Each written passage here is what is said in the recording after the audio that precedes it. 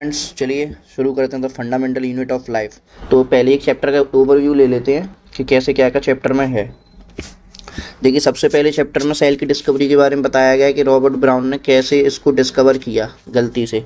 तो उसके बाद हमें चैप्टर में देखेंगे कि जो सेल होती है, वो मेनली सिर्फ़ दो टाइप की होती है, एक प्रोकैरियोटिक और एक यूकैरियोटिक दुनिया में जितने भी ऑर्गेनिम्स हैं, उनमें यहाँ तो सेल इस टाइप की होगी प्रोकैरियोटिक या यूकैरियोटिक ठीक है? इनके डिफरेंसेस देखेंगे इनमें क्या बेसिक डिफरेंसेस है वो भी हम डिटेल में देखेंगे। बेसिकली hmm, प्रो का मतलब होता है प्रिमिटिव ओके प्रिमिटिव कैरियन मतलब न्यूक्लियस होता है उसको हम आगे देखेंगे अभी और आ, मतलब न्यूक्लियस से पहले न्यूक्लियस के आने से पहले जो सेल आई उसे प्रोकैरियोटिक सेल बोलते हैं और जो बाद में आई उसे यूकैरियोटिक। इसके बाद चैप्टर में बताया गया है कॉम्पोनेंट्स ऑफ़ सेल। सेल के कॉम्पोनेंट्स क्या क्या होते हैं? देखिए ज़्यादा से ज़्यादा किसी सेल में कितने कॉम्पोनेंट्स हो सकते हैं वो मैंने सारे यहाँ लिख दिए हैं। सबसे पहले तो उसमें सेल वॉल हो सकती है सेल मेम्ब्रेन हो सकती है साइटोप्लाज्म होगा ही होगा। साइटोप्लाज्म सेल मेम्ब्रेन तो सब सा, सारी ही सेल में होंगे चाहे वो कोई सी भी सेल हो। ओके यूकैरियोट हो प्रोकैरियोट हो तो उसमें ये दो चीज़ें तो होंगी होंगी। इसके अलावा जो ऑप्शनल है ऑर्गेनिल्स ऑर्गेनील सिर्फ़ यूकैरियोट सेल में होते हैं न्यूक्लियस सिर्फ़ यूकैरियोट्स में होते हैं। ओके और जो सेल वॉल है वो भी ऑप्शनल है वो कुछ प्रोकैरियोट्स में भी होती है और कुछ यूकैरियोट्स में भी होती है। यूकैरियोट्स में ये सिर्फ़ प्लांट्स में होती है फंजाई में होती है एनिमल्स में नहीं होती। ओके? सो बेसिकली ये एक चैप्टर का ओवरव्यू है हमको क्या क्या देखना है। फिर उसके बाद जो ऑर्गेनिल्स है आ, उसको देखना है कि एक यूकैरियोट सेल में कौन किस किस टाइप के कितने ऑर्गेनिल्स होते हैं। चलिए चैप्टर को शुरू करते हैं। सो so, देखते हैं well examining a thin slice of cork हुआ क्या था जो रॉबर्ट हुक था उसने एक माइक्रोस्कोप बनाया हुआ था, उसके खुद के द्वारा। एक माइक्रोस्कोप बना लिया उसने। अब वो अपने आसपास रखी हुई सारी चीज़ों को एग्जामाइन करने लगा उससे। तो उसके पास एक वैन की बोतल थी और आपने देखा होगा, वो बोतल में जो ऊपर जो लकड़ी का एक पीस सा लगा होता है, जिसको खोलते हैं शैम्पिन वगैरह की बोतल में, उसको बोलते हैं कॉर्क वो पेड़ की कॉर्क उस कॉर्क होता है वो, और जो बना होता है पेड़ की छाल से बार्क ऑफ़ अ ट्री ठीक है? तो उसको उसने अपने द्वारा बनाए हुए माइक्रोस्कोप से एग्जामाइन किया। और ये थी बात 1665 की। जब उसने उसको एग्जामाइन किया तो उसने उस कॉर्क में ऐसे छोटे छोटे बॉक्सेस बने हुए देखे। ऐसे। ओके सो उसने इन बॉक्सेस को बोल दिया सेल और सेल का सेल एक लैटिन वर्ड है, जिसका मतलब होता है लिटिल रूम यानी कि छोटे छोटे कमरे ओके देखिए, उसने लैटिन को ही क्यों चुना? क्योंकि देखिए लैटिन लैंग्वेज से किसी को कोई आपत्ति नहीं होती। अगर वो इंग्लिश लैंग्वेज चुनता तो फिर चाइनीज़ बोलते कि आपने चाइनीज़ में क्यों नहीं लिखा? जैपनीज़ बोलते जैपनीज़ में क्यों नहीं लिखा? इससे उसने लैटिन को चुना। लैटिन एक ऐसी लैंग्वेज है जो टेक्सटिंग टाइप की हो गई है, जिसको कोई बोलता नहीं है, अब पढ़ता नहीं है। वो किसी के लिए कोई लैंग्वेज नहीं है, जिससे किसी के सेंटिमेंट्स को हट नहीं पहुँचता, इसलिए सारे साइंटिस्ट लैटिन लैंग्वेज को ही सुनते हैं।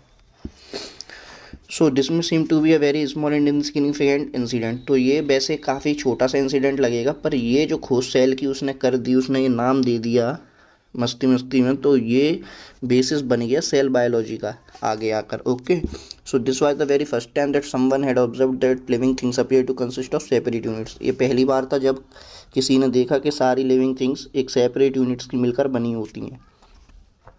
So the use of word cell describe these units is being use till this day in biology तो बायोलॉजी में आज तक इसका यूज़ हो रहा है, जैसा कि आपको पता ही है।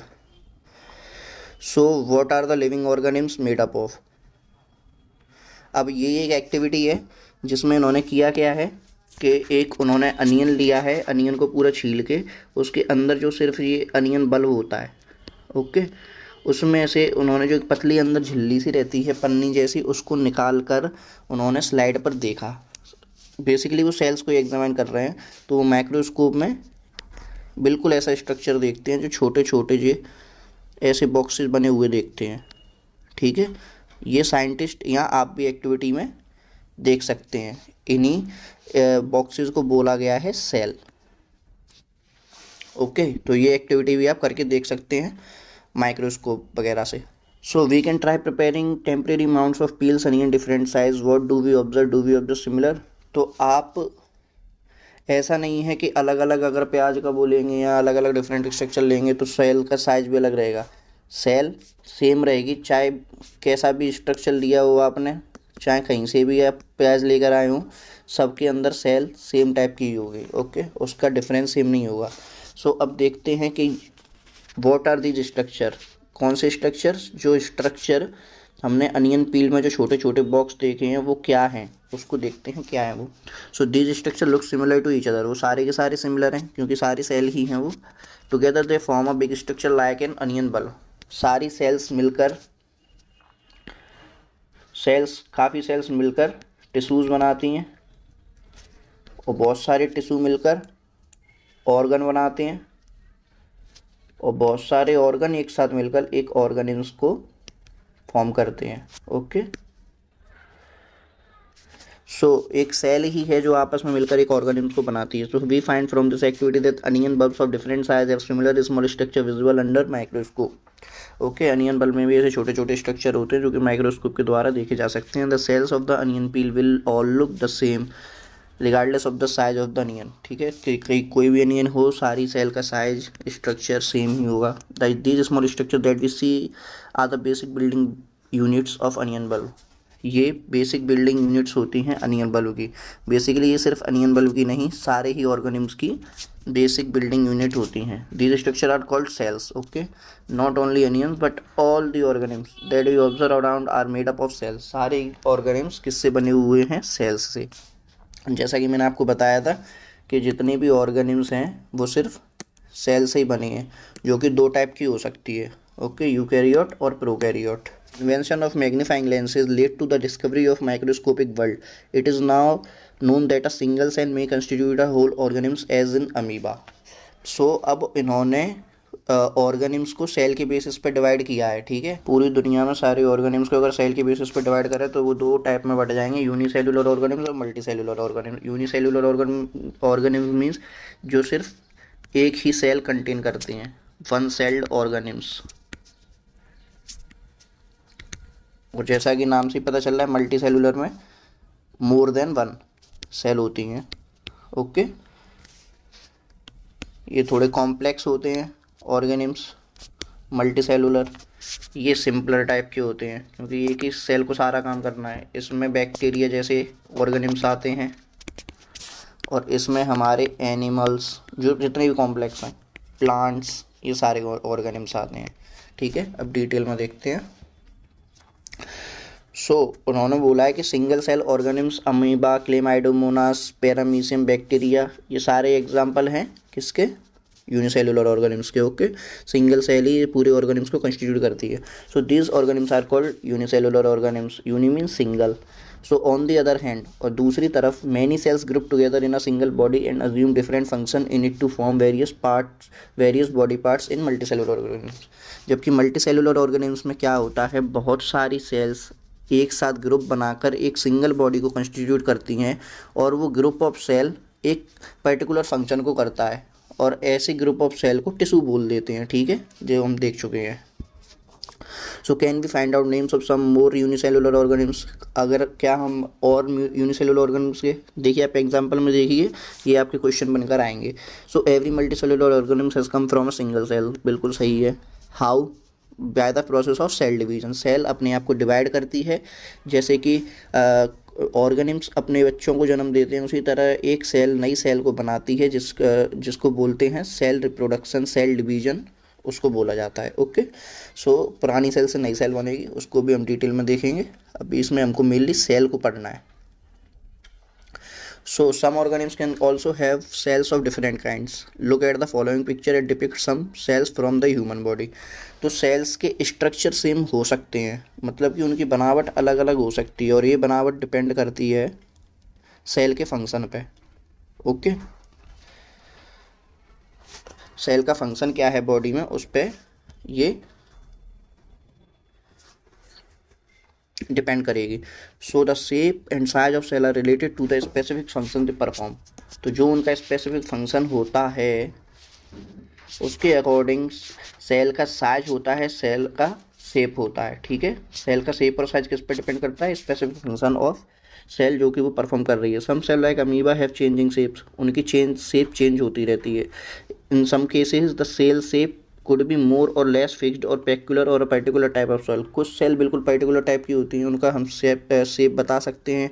जैसे कि नर्व सेल उनका एक टिपिकल शेप होता है। लंबी लंबी होती हैं लॉन्गेटेड सेल हैं okay so each living cell has the capacity to perform certain basic functions that are characteristics of all living organism तो जितनी भी लिविंग सेल हैं, उनमें कैपेसिटी होती है कुछ बेसिक फ़ंक्शन करने की। सारे ही लिविंग ऑर्गेनिम्स में, ठीक है? और ये कैरेक्ट और ये जो बेसिक फ़ंक्शंस हैं, वो कैरेक्टरिस्टिक होते हैं लिविंग ऑर्गेनिम्स के ओके सिर्फ़ लिविंग ऑर्गेनिम्स में ही वो फ़ंक्शंस होते हैं। वो हम आगे देखें कौन कौन से फ़ंक्शन होते हैं। बेसिकली बेसिकली सेल रेस्पायर करती है सेल ग्रोथ के लिए मेटाबॉलिज्म करती है, ये सारे फ़ंक्शंस हैं उसके, जो हम देखेंगे। So how does a cell perform these basic functions cell ये सारे फ़ंक्शंस को करती कैसी है? We know that there is a division of labour in multicellular organisms such as human beings इतना हमको पता है कि मल्टी सेलुलर ऑर्गेनिम्स में डिवीज़न ऑफ़ लेबर है। डिवीज़न ऑफ़ लेबर मतलब जैसे कि पूरे के पूरे हमारा जो कंस्टिट्यूट बॉडी है, उसके फ़ंक्शन डिवाइडेड हैं। आँखों को देखने का काम दिया गया है, स्टमक को डाइजेशन का काम दिया गया है, स्टमक इंटेस्टाइन को हार्ट को, ब्लड पंप करने का काम दिया गया है। तो सारे ऑर्गेनम्स को डिवीज़न ऑफ़ लेबर है, सबका अपना पर्टिकुलर काम है, ठीक है? सो ये मल्टी सेलुलर ऑर्गेनिज्म में डिवीज़न ऑफ़ लेबर होता है। This means that different parts of the human body perform different function different part different function को परफॉर्म करते हैं। The human body has a heart to pump blood height, blood pump करने के लिए, stomach, food digest करने के लिए, इसी तरह जो मैंने आगे और बताया किडनी वगैरह, लिवर वगैरह, सारे सबका एक अपना पर्टिकुलर फ़ंक्शन है। सिमिलरली डिवीज़न ऑफ़ लीवर इसी तरह से division of liver is also seen within a single cell single cell के अंदर भी डिवीज़न ऑफ़ लेबर देखा जाता है। ठीक है? कैसे वो हम देखेंगे जब हमको कंपोनेंट्स ऑफ़ सेल पढ़ लेंगे। कंपोनेंट्स ऑफ़ सेल मतलब सेल ऑर्गेनील्स पढ़ लेंगे। तब हम देखेंगे कि डिफरेंट ऑर्गेनील का एक अपना पर्टिकुलर फ़ंक्शन है। जैसे कि माइटोकॉन्ड्रिया एटीपी बनाता है। सेल मेम्ब्रेन ट्रांसफ़र ट्रांसपोर्टेशन का काम करती है हेल्प करती है उसमें। इसी तरह हम देखेंगे कि सेल के जो ऑर्गेनील्स हैं और सेल के अंदर भी डिवीज़न ऑफ़ लेबर फॉलो होता है। In fact, each such cell has got certain specific component within it known as cell. तो यही जो डिवीज़न ऑफ़ लेबर है, जो सेल के अंदर होता है, वो स्पेसिफिक कंपोनेंट्स के द्वारा अकम्प्लिश किया जाता है, जिस और इन्हीं स्पेसिफिक कंपोनेंट्स को बोलते हैं सेल ऑर्गेनील्स देखिए सेल ऑर्गेनील सिर्फ़ यूकैरियोट सेल में ही होते हैं प्रोकैरियोटिक सेल में नहीं होते हैं। प्रोकैरियोटिक सेल में सेल ऑर्गेनील्स का काम उन्हीं की सिंपलर फॉर्म करती हैं। जैसे कि आप देखेंगे माइटोकॉन्ड्रिया जैसे कि रेस्पायरेशन में वर्क करता है, पर प्रोकैरियोट में रेस्पायरेशन उन्हीं की मेम्ब्रेन में कुछ मॉडिफिकेशन हो जाते हैं तो मेम्ब्रेन के थ्रू ही होते हैं। उनमें कोई अलग से ऑर्गेनिल प्रेजेंट नहीं होता है। ऑर्गेनिल स्पेसिफिक फीचर है सिर्फ़ यूकैरियोटिक सेल का, जो हम आगे डिटेल में देखेंगे। So each kind of cell organelle perform specific function ठीक है। Such as making new material in the cell new material कौन बनाता है? आगे देखोगे अब गोल्गी बॉडीज़ वगैरह का, ये सब, इन सब का काम होता है। Clearing up the waste material lysosome करवाता है from the cell and so on a cell is able to live and perform all it function because of these organelle तो सेल ये सारे बेसिक फ़ंक्शंस क्यों कर पा रही है? क्यों पॉसिबल हैं? क्योंकि वो कंस्टिट्यूट करती है सारे ही ऑर्गेनिल अगर इनमें से किसी भी ऑर्गेनिल्स की कमी आएगी तो सेल की फंक्शनिंग पे अफेक्ट पड़ेगा और मे भी सेल डाई भी हो सकती है. So these organelles together constitute the basic unit called the cell तो ये सारे ठीक है, सारे ऑर्गेनिल्स मिलके सेल बनाते हैं, जैसे कि बहुत सारी सेल मिलकर टिश्यू बनाती हैं, टिश्यू मिलकर ऑर्गन बनाते हैं, ऑर्गन मिलकर ऑर्गेनिज्म बनाते हैं, उसी तरह से ऑर्गेनील मिलकर सेल बनाते हैं, ठीक है? It is interesting that all the cells are found to have the same organelles सारे ही यूकैरियोटिक सेल में सेम ऑर्गेनील्स ही होते हैं, चाहे वो प्लांट की हो, चाहे एनिमल की हो, चाहे फंजाई की हो, ठीक है? सेल्स के अंदर सारे ही सेम ऑर्गेनील्स होंगे, उनके नंबर और टाइप डिफरेंट हो सकते हैं। जैसे कि किसी में माइटोकॉन्ड्रिया ज़्यादा हो गए किसी में कम हो गए वो अलग बात है पर ऑर्गेनिल सेम ही होंगे। No matter what their function is और what the organism they are found in अब हम देखते हैं कि what is a cell made up of अभी तक हमने सेल का एक ओवरव्यू देखा है कि सेल क्या है कैसे खोज हुई थी उसकी सेल के अंदर क्या क्या होता है ठीक है? अब हम देखेंगे कि सेल बनी किस चीज़ की है। वही बेसिकली ऑर्गेनिल्स की बात करेंगे। What is the structural organisation of a cell cell का स्ट्रक्चर कैसे बना है कैसे ऑर्गेनाइज्ड है, उसको देखेंगे। वी सो अब the cell has specific components called organelle cell के अंदर स्पेसिफिक कंपोनेंट्स होते हैं स्पेशल कंपोनेंट्स होते हैं, जिन्हें बोलते हैं ऑर्गेनिल्स इतना हम देख चुके हैं। If we study a cell under a microscope we would come across three features in almost all the cells तो अगर हम माइक्रोस्कोप के अंदर देखें तो हमको तीन बहुत कॉमन फीचर देखेंगे हर सेल के अंदर। मोस्टली ये इन्होंने सिर्फ़ यूकैरियोटिक सेल को ही देखा है तो उन्होंने सारी यूकैरियोटिक सेल में तीन फीचर कॉमन दिखे हैं। एक तो प्लाज्मा मेम्ब्रेन, एक न्यूक्लियस और एक साइटोप्लाज्म इतनी तो सारी चीज़ में ये कॉमन है, ठीक है? So, all activities inside the cell are interaction of the cell with its environment are possible due to these features. इन्हीं फीचर्स के वजह से सारे ही सेल के बेसिक फ़ंक्शंस हो पाते हैं, क्योंकि जितने भी ऑर्गेनिल्स होते हैं, वो प्रेजेंट होते हैं साइटोप्लाज्म के अंदर, ठीक है? अब आप एक थोड़ा सा बेसिक स्ट्रक्चर देखिए आप, कि सेल में है क्या क्या बेसिकली सेल होती कैसी? सेल में सबसे पहले होता है सेल मेम्ब्रेन ये कॉमन फीचर्स हैं जो हर यूकैरियोट सेल में मिल जाएँगे। मैं शेप पर ध्यान मत दीजिए। मैं आपको इसे समझाने के लिए एक डायग्राम टाइप का बना रहा हूँ। सबसे पहले होती है सेल मेम्ब्रेन और अंदर होता है न्यूक्लियस ठीक है? और जो साइड में जितना भी मटेरियल बच गया इसको बोल, यहाँ पे मोस्टली नाइन्टी परसेंट वाटर होता है और इसी के अंदर होते हैं सेल ऑर्गेनिल्स ठीक है? और इस एरिया को बोलते हैं साइटोप्लाज्म तो ये ऑरेंज वाला तो हो गई हमारी सेल मेम्ब्रेन और जो ब्लू वाला है, वो हो गया न्यूक्लियस जहाँ हमारा क्रोमोजोम प्रेजेंट होगा, ठीक है? न्यूक्लियस। और जितनी भी सेल के अंदर जो फंक्शनिंग हो रही है, जो मोस्टली सेलुलर एक्टिविटी जो होती है मेटाबॉलिज्म होती है, वो कहाँ होती है? वो होती है साइटोप्लाज्म के अंदर। ठीक है? साइटोप्लाज्म के अंदर होती है। अब देखिए, ये सेल मेम्ब्रेन और सबसे अंदर न्यूक्लियस और न्यूक्लियस के अलावा जितना भी हिस्सा सेल मेम्ब्रेन के अंदर है, उसे बोलते हैं साइटोप्लाज्म और अगर हम साइटोप्लाज्म और न्यूक्लियस को एक साथ बोलें तो हम उसे बोलेंगे प्रोटोप्लाज्म यानी कि सेल मेम्ब्रेन के अंदर जितना भी हिस्सा है न्यूक्लियस व्यूक्लियस सब कुछ, उसे बोलेंगे प्रोटोप्लाज्म तो बेसिकली प्रोटोप्लाज्म क्या होता है? साइटोप्लाज्म प्लस न्यूक्लियस ठीक है? ये एक बेसिक स्ट्रक्चर है और सारे ऑर्गेनिल्स हमारे कहाँ प्रेजेंट होंगे? सारे ऑर्गेनिल्स हमारे प्रेजेंट होंगे साइटोप्लाज्म के अंदर, ठीक है? यहाँ सारे ऑर्गेनिल्स प्रेजेंट हैं। सो ये एक छोटा सा स्ट्रक्चर है बेसिक चलिए तो सबसे पहले हमको प्लाज्मा मेम्ब्रेन की बात करनी है।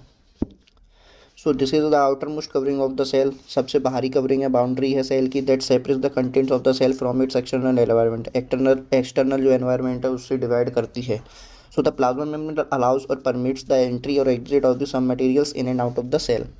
So plasma membrane का वर्क क्या है ये अलाउ करती है परमिट करती है रोकती है एंट्री और एग्जिट ऑफ़ different molecules ठीक है substances it also prevent movement of some other uh, materials the cell membrane therefore is called a selectively permeable membrane इस वजह से सेल मेम्ब्रेन को सिलेक्टिवली परमिएबल मेम्ब्रेन बोलते हैं क्योंकि यो सिलेक्ट करके डिफरेंट सब्सटेंस को सिलेक्ट करती है, फिर उनको परमिट करती है, ठीक है? अपनी थ्रू इसलिए इसको सिलेक्टिवली परमिएबल मेम्ब्रेन बोलते हैं। How does the movement of substances take place into the cell how do substance move out of the cell तो ये सब्सटेंसेज का अंदर बाहर जाना कैसे होता है? क्या प्रोसेसेस होती हैं? देखिए, किसी भी सब्सटेंस का सेल के अंदर जाना बोलते हैं, एंडोसाइटोसिस और बाहर जाना बोलते हैं एक्जोसाइटोसिस सेल में बेसिकली दो ही टाइप के मूवमेंट होते हैं, एंडोसाइटोसिस और exocytosis exo means out endo means in अगर कुछ भी सेल के अंदर जाएगा तो उसे एंडोसाइटोसिस बोलेंगे। अगर कुछ भी सेल के बाहर जाएगा तो उसे एक्सोसाइटोसिस बोलेंगे, ठीक है? तो इस दो प्रोसेस होती हैं जिसके अकॉर्डिंग सेल में मूवमेंट्स होती है, अंदर बाहर। Some substance like carbon dioxide और oxygen can move across the cell membrane by process called diffusion तो कुछ सब्सटेंस होते हैं कार्बन डाइऑक्साइड और काफ़ी अलग सब्सटेंसेज होते हैं जो कि ईजीली सेल मेम्ब्रेन को क्रॉस कर सकते हैं। सेल मेम्ब्रेन उनको रोकती नहीं है, वो डिफ्यूज़न के थ्रू पास करते हैं, ठीक है? अभी हम डिटेल में देखेंगे। We have studied the process of diffusion in earlier chapter we saw that there is a spontaneous movement of a substance from region of high concentration to a region of low concentration तो basically diffusion होता क्या है? जहाँ भी किसी भी किसी भी सब्सटेंस की कंसंट्रेशन ज़्यादा होती है, वो अपनी लो कंसंट्रेशन पे अपने आप ही स्वतः ही फॉलो स्वतः ही आ जाता है ऑटोमेटिकली आ जाता है। अपनी हाई कंसंट्रेशन से लो कंसंट्रेशन पे। जैसे कि आप टंकी में अगर लेजम को खोलेंगे तो वो बाहर फैलना चालू हो जाएगा, क्योंकि टंकी के अंदर पानी का कंसंट्रेशन ज़्यादा है और बाहर बिल्कुल है ही नहीं। तो जैसे ही आपने टोटी खोली तो पूरा पानी बाहर आ जाता है high concentration to low concentration इसे बोलते हैं डिफ्यूजन यही सेल मेम्ब्रेन में भी होता है सेल के अंदर भी होता है। Okay so, something similar to this happens to in certain in cells when, for example some substance like CO2 which is cellular waste cellular waste होती है सी CO2 से सेल रेस्पायरेशन जब करती है सेल ब्रेक डाउन करती है glucose वगैरह का या और भी मॉलिक्यूल्स का, तब CO2 रिलीज़ होती है सेल के अंदर। हमको पता है ग्लूकोज हम जो खाते हैं खाने में, उससे हमें ग्लूकोज मिलता है और ग्लूकोज हमको एनर्जी देता है। और जो ग्लूकोज जब एनर्जी दे देता है तो उसका जो वेस्ट प्रोडक्ट बचता है, वो होता है सी ओ टू तो उसको बाहर निकालना होता है, वो सेलुलर वेस्ट होती है सी ओ टू ठीक है? सो जो सी ओ टू एक्यूमुलेट्स हो जाती है high concentration inside the cell ठीक है? अब in the cell external environment the concentration of C O two is low अब बाहर सेल के, यानी कि ब्लड में सेल के बाहर क्या होगा? ब्लड होगा। वहाँ पे कंसनट्रेशन सी ओ टू की बहुत कम होती है, अगर उसको कंपेयर करें सेल के अंदर से, ठीक है? तो सी ओ टू कहाँ से कहाँ जाएगी? सेल के अंदर से बाहर जाएगी। So as soon as there is a difference of concentration of C O two inside the outside of cell तो जो इनसाइड और आउटसाइड जो डिफरेंस होता है सी ओ टू का, जितना ज़्यादा होगा सी ओ टू उस तब तक मूव करती रहेगी। जब तक कंसनट्रेशन दोनों साइड नॉर्मल नहीं हो जाएगी, ठीक है? To a region of low concentration outside the cell by the process of diffusion और ये प्रोसेस क्या है? डिफ्यूजन ठीक है? Similarly, O2 enters the cell by the process of diffusion when the level of concentration of O2 inside the cell decreases. अब होता क्या है? जब हम सांस लेते हैं तो हमारी लंग्स के थ्रू O2 जाती है ब्लड में। तो अब कंसंट्रेशन ऑक्सीजन की कहाँ इंक्रीज हो गई? ब्लड में। और सेल में क्या है? कम। तो O2 कंसंट्रेशन सेल में ब्लड में ज़्यादा है तो ब्लड से कहाँ जाएगी? सेल में। ठीक है? High concentration to low concentration thus diffusion plays an important role in gaseous exchange between the cell as well as the cell and its external environment तो डिफ्यूजन काफ़ी इंपॉर्टेंट रोल प्ले करता है transportation of gases में भी okay so the water also obeys the law of diffusion the movement of water molecules through such selectively permeable membrane is called osmosis तो water भी diffusion को follow करता है, पर जब वाटर सेमी पर परमिएबल मेम्ब्रेन के थ्रू डिफ्यूजन होता है वाटर का तो उसे अलग नाम दिया गया है, उसको ऑस्मोसिस बोल दिया गया है। बेसिकली ये भी डिफ्यूजन ही है। पर वाटर के डिफ्यूजन को ऑस्मोसिस बोलते हैं okay so the movement of water across the plasma membrane is also affected by amount of substance dissolve in water तो जो मूवमेंट होता है वाटर का सेमी परमिएबल मेम्ब्रेन के एक्रॉस वो एक चीज़ पे और अफेक्ट करता है कि पानी के अंदर और मिला हुआ क्या क्या है। क्या सब्सटेंस उसके अंदर घुला हुआ है? Thus osmosis is the passage of water from a region of high water concentration through a selectively permeable membrane to a region of low water concentration till equilibrium is reached तो ये कब तक होगा? जब तक इक्विलिब्रियम नहीं पहुँच जाएगा। सो डिफ्यूजन में होता क्या है? किसी भी सब्सटेंस का मूवमेंट है। कोई भी सब्सटेंस का मूवमेंट कहाँ से? उसकी हाई कंसेंट्रेशन से टू लो कंसंट्रेशन उसको बोलते हैं डिफ्यूजन ठीक है? और ये कब तक होगा? जब तक दोनों साइड कंसंट्रेशन बराबर नहीं हो जाएगी. दोनों कंपार्टमेंट में कंसंट्रेशन बराबर नहीं हो जाएगी. जैसे कि आपने पानी में देखा है, अगर आप एक ये बाल्टी है और ये एक दूसरी बाल्टी है, ठीक है? इसको आप ज्वाइन कर दो. एक ट्यूब के थ्रू। तो अगर इसमें पानी यहाँ तक है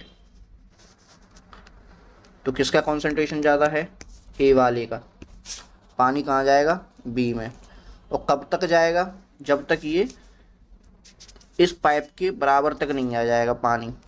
जब दोनों ए और बी बाल्टी में पानी इस पॉइंट तक नहीं आ जाएगा, इस पॉइंट तक दोनों जगह पानी भर जाएगा वैसे ही पानी का फ्लो रुक जाएगा।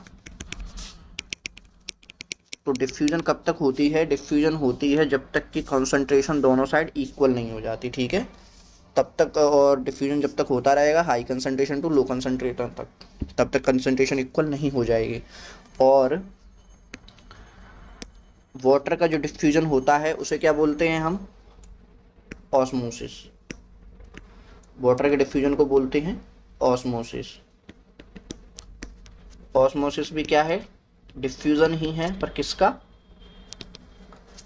डिफ्यूजन ऑफ़ वाटर और ये किस चीज़ पे भी डिपेंड करता है?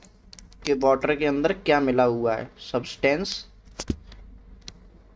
Dissolve in water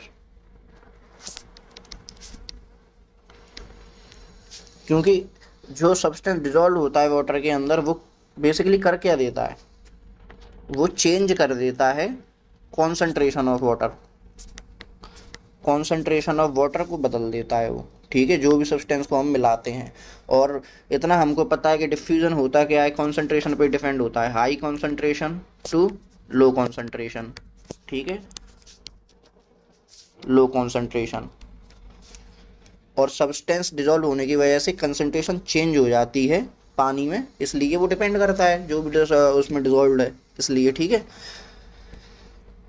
so so, अब हम देखते हैं the movement of water across the plasma membrane is also affected by the substance dissolve in water इसलिए वो जो सब्सटेंस डिजॉल्व है, उसके द्वारा अफेक्ट होता है। Thus osmosis is the passage of water from a region of high water concentration through a selectively permeable membrane to a region of low concentration till equilibrium is reached equilibrium मतलब दोनों side concentration जब तक equal नहीं हो जाती, उसे equilibrium बोलते हैं, तब तक ऑस्मोसिस होती रहेगी। What happen if we put an animal cell और a plant cell into a solution of sugar और सॉल्ट इन वाटर क्या होगा अगर हम किसी सेल को बॉडी से बाहर निकाल के उसको किसी शक्कर वाले पानी में रखें या नमक घुले हुए पानी में रखें तो क्या होगा उस सेल के साथ? ठीक है? तो ये एक एक्टिविटी टाइप की है जो इन्होंने की हुई है। तो देखते हैं हम कि क्या होगा। If the medium surrounding the cell has a higher water concentration than the cell, meaning that the outside solution is very dilute. तो क्या कह रहे हैं? पहले उन्होंने डायल्यूट सॉल्यूशन में सेल को रखा हुआ है। डायल्यूट कैसा? यानी कि जिसकी कॉन्सेंट्रेशन कम है। डायल्यूट क्या होता है? डायल्यूट वो होता है जिसमें पानी ज़्यादा हो। तो उन्होंने कैसा सॉल्यूशन चुना है? जो डायल्यूट है। उसमें क्या डाला है उन्होंने? सेल को डाला है। तो क्या होगा? ऐसे सॉल्यूशन को क्या बोलेंगे? हाइपोटोनिक सॉल्यूशन देखिए, एक टर्म होती है टोनिसिटी टोनिसिटी का जब हम वाटर के रिलेटेड में बायोलॉजी में देखते हैं इन बायोलॉजी तो टोनिसिटी का मतलब होता है टेंडेंसी या फिर कैपेसिटी टू एट्रैक्ट वाटर इसको बोलते हैं क्या? टोनिसिटी तो अगर टोनिसिटी ज़्यादा होगी टोनिसिटी ज़्यादा होगी तो उसे क्या बोलेंगे? हाइपरटोनिक और अगर टोनिसिटी कम होगी तो उसको क्या बोलेंगे? हाइपोटोनिक अब बताइए डेफिनेशन के हिसाब से अगर कोई हाइपोटोनिक चीज़ है या हाइपोटोनिक सॉल्यूशन है तो उसकी टेंडेंसी पानी को अट्रैक्ट करने की ज़्यादा होगी या कम होगी? कम होगी। Tendency to attract water is less hypo means less hyper means high ठीक है? तो जब हम सेल को हाइपोटोनिक सॉल्यूशन में रखेंगे तो वो पानी को अट्रैक्ट कर पाएगी क्या? नहीं. तो वो पानी को छोड़ देगी। और ऐसे सॉल्यूशन में जब हम सेल को रखेंगे तो सेल क्या होगी? सेल के अंदर पानी भर जाएगा और सेल फूल जाएगी। सेल स्वेल्स ठीक है? पर जब हम देखें कि हाइपरटोनिक सॉल्यूशन में हमने सेल को रखा, यानी कि ये सेल है और इसको हमने किसी बीकर में रखा, जिसमें कि क्या डला हुआ है? नमक डला हुआ है, बहुत सारा। और पानी की कंसंट्रेशन सेल के बाहर कितनी है? कम है। ठीक है? पानी की कंसंट्रेशन सेल के बाहर कम है। और ऐसे सॉल्यूशन को बोलेंगे हाइपरटोनिक और हाइपरटोनिक सॉल्यूशन में टेंडेंसी क्या होती है पानी को? खींचने की। ज़्यादा होती है। ठीक है? ऐसे में सेल क्या होगी? सेल श्रिंक हो जाएगी। ठीक है?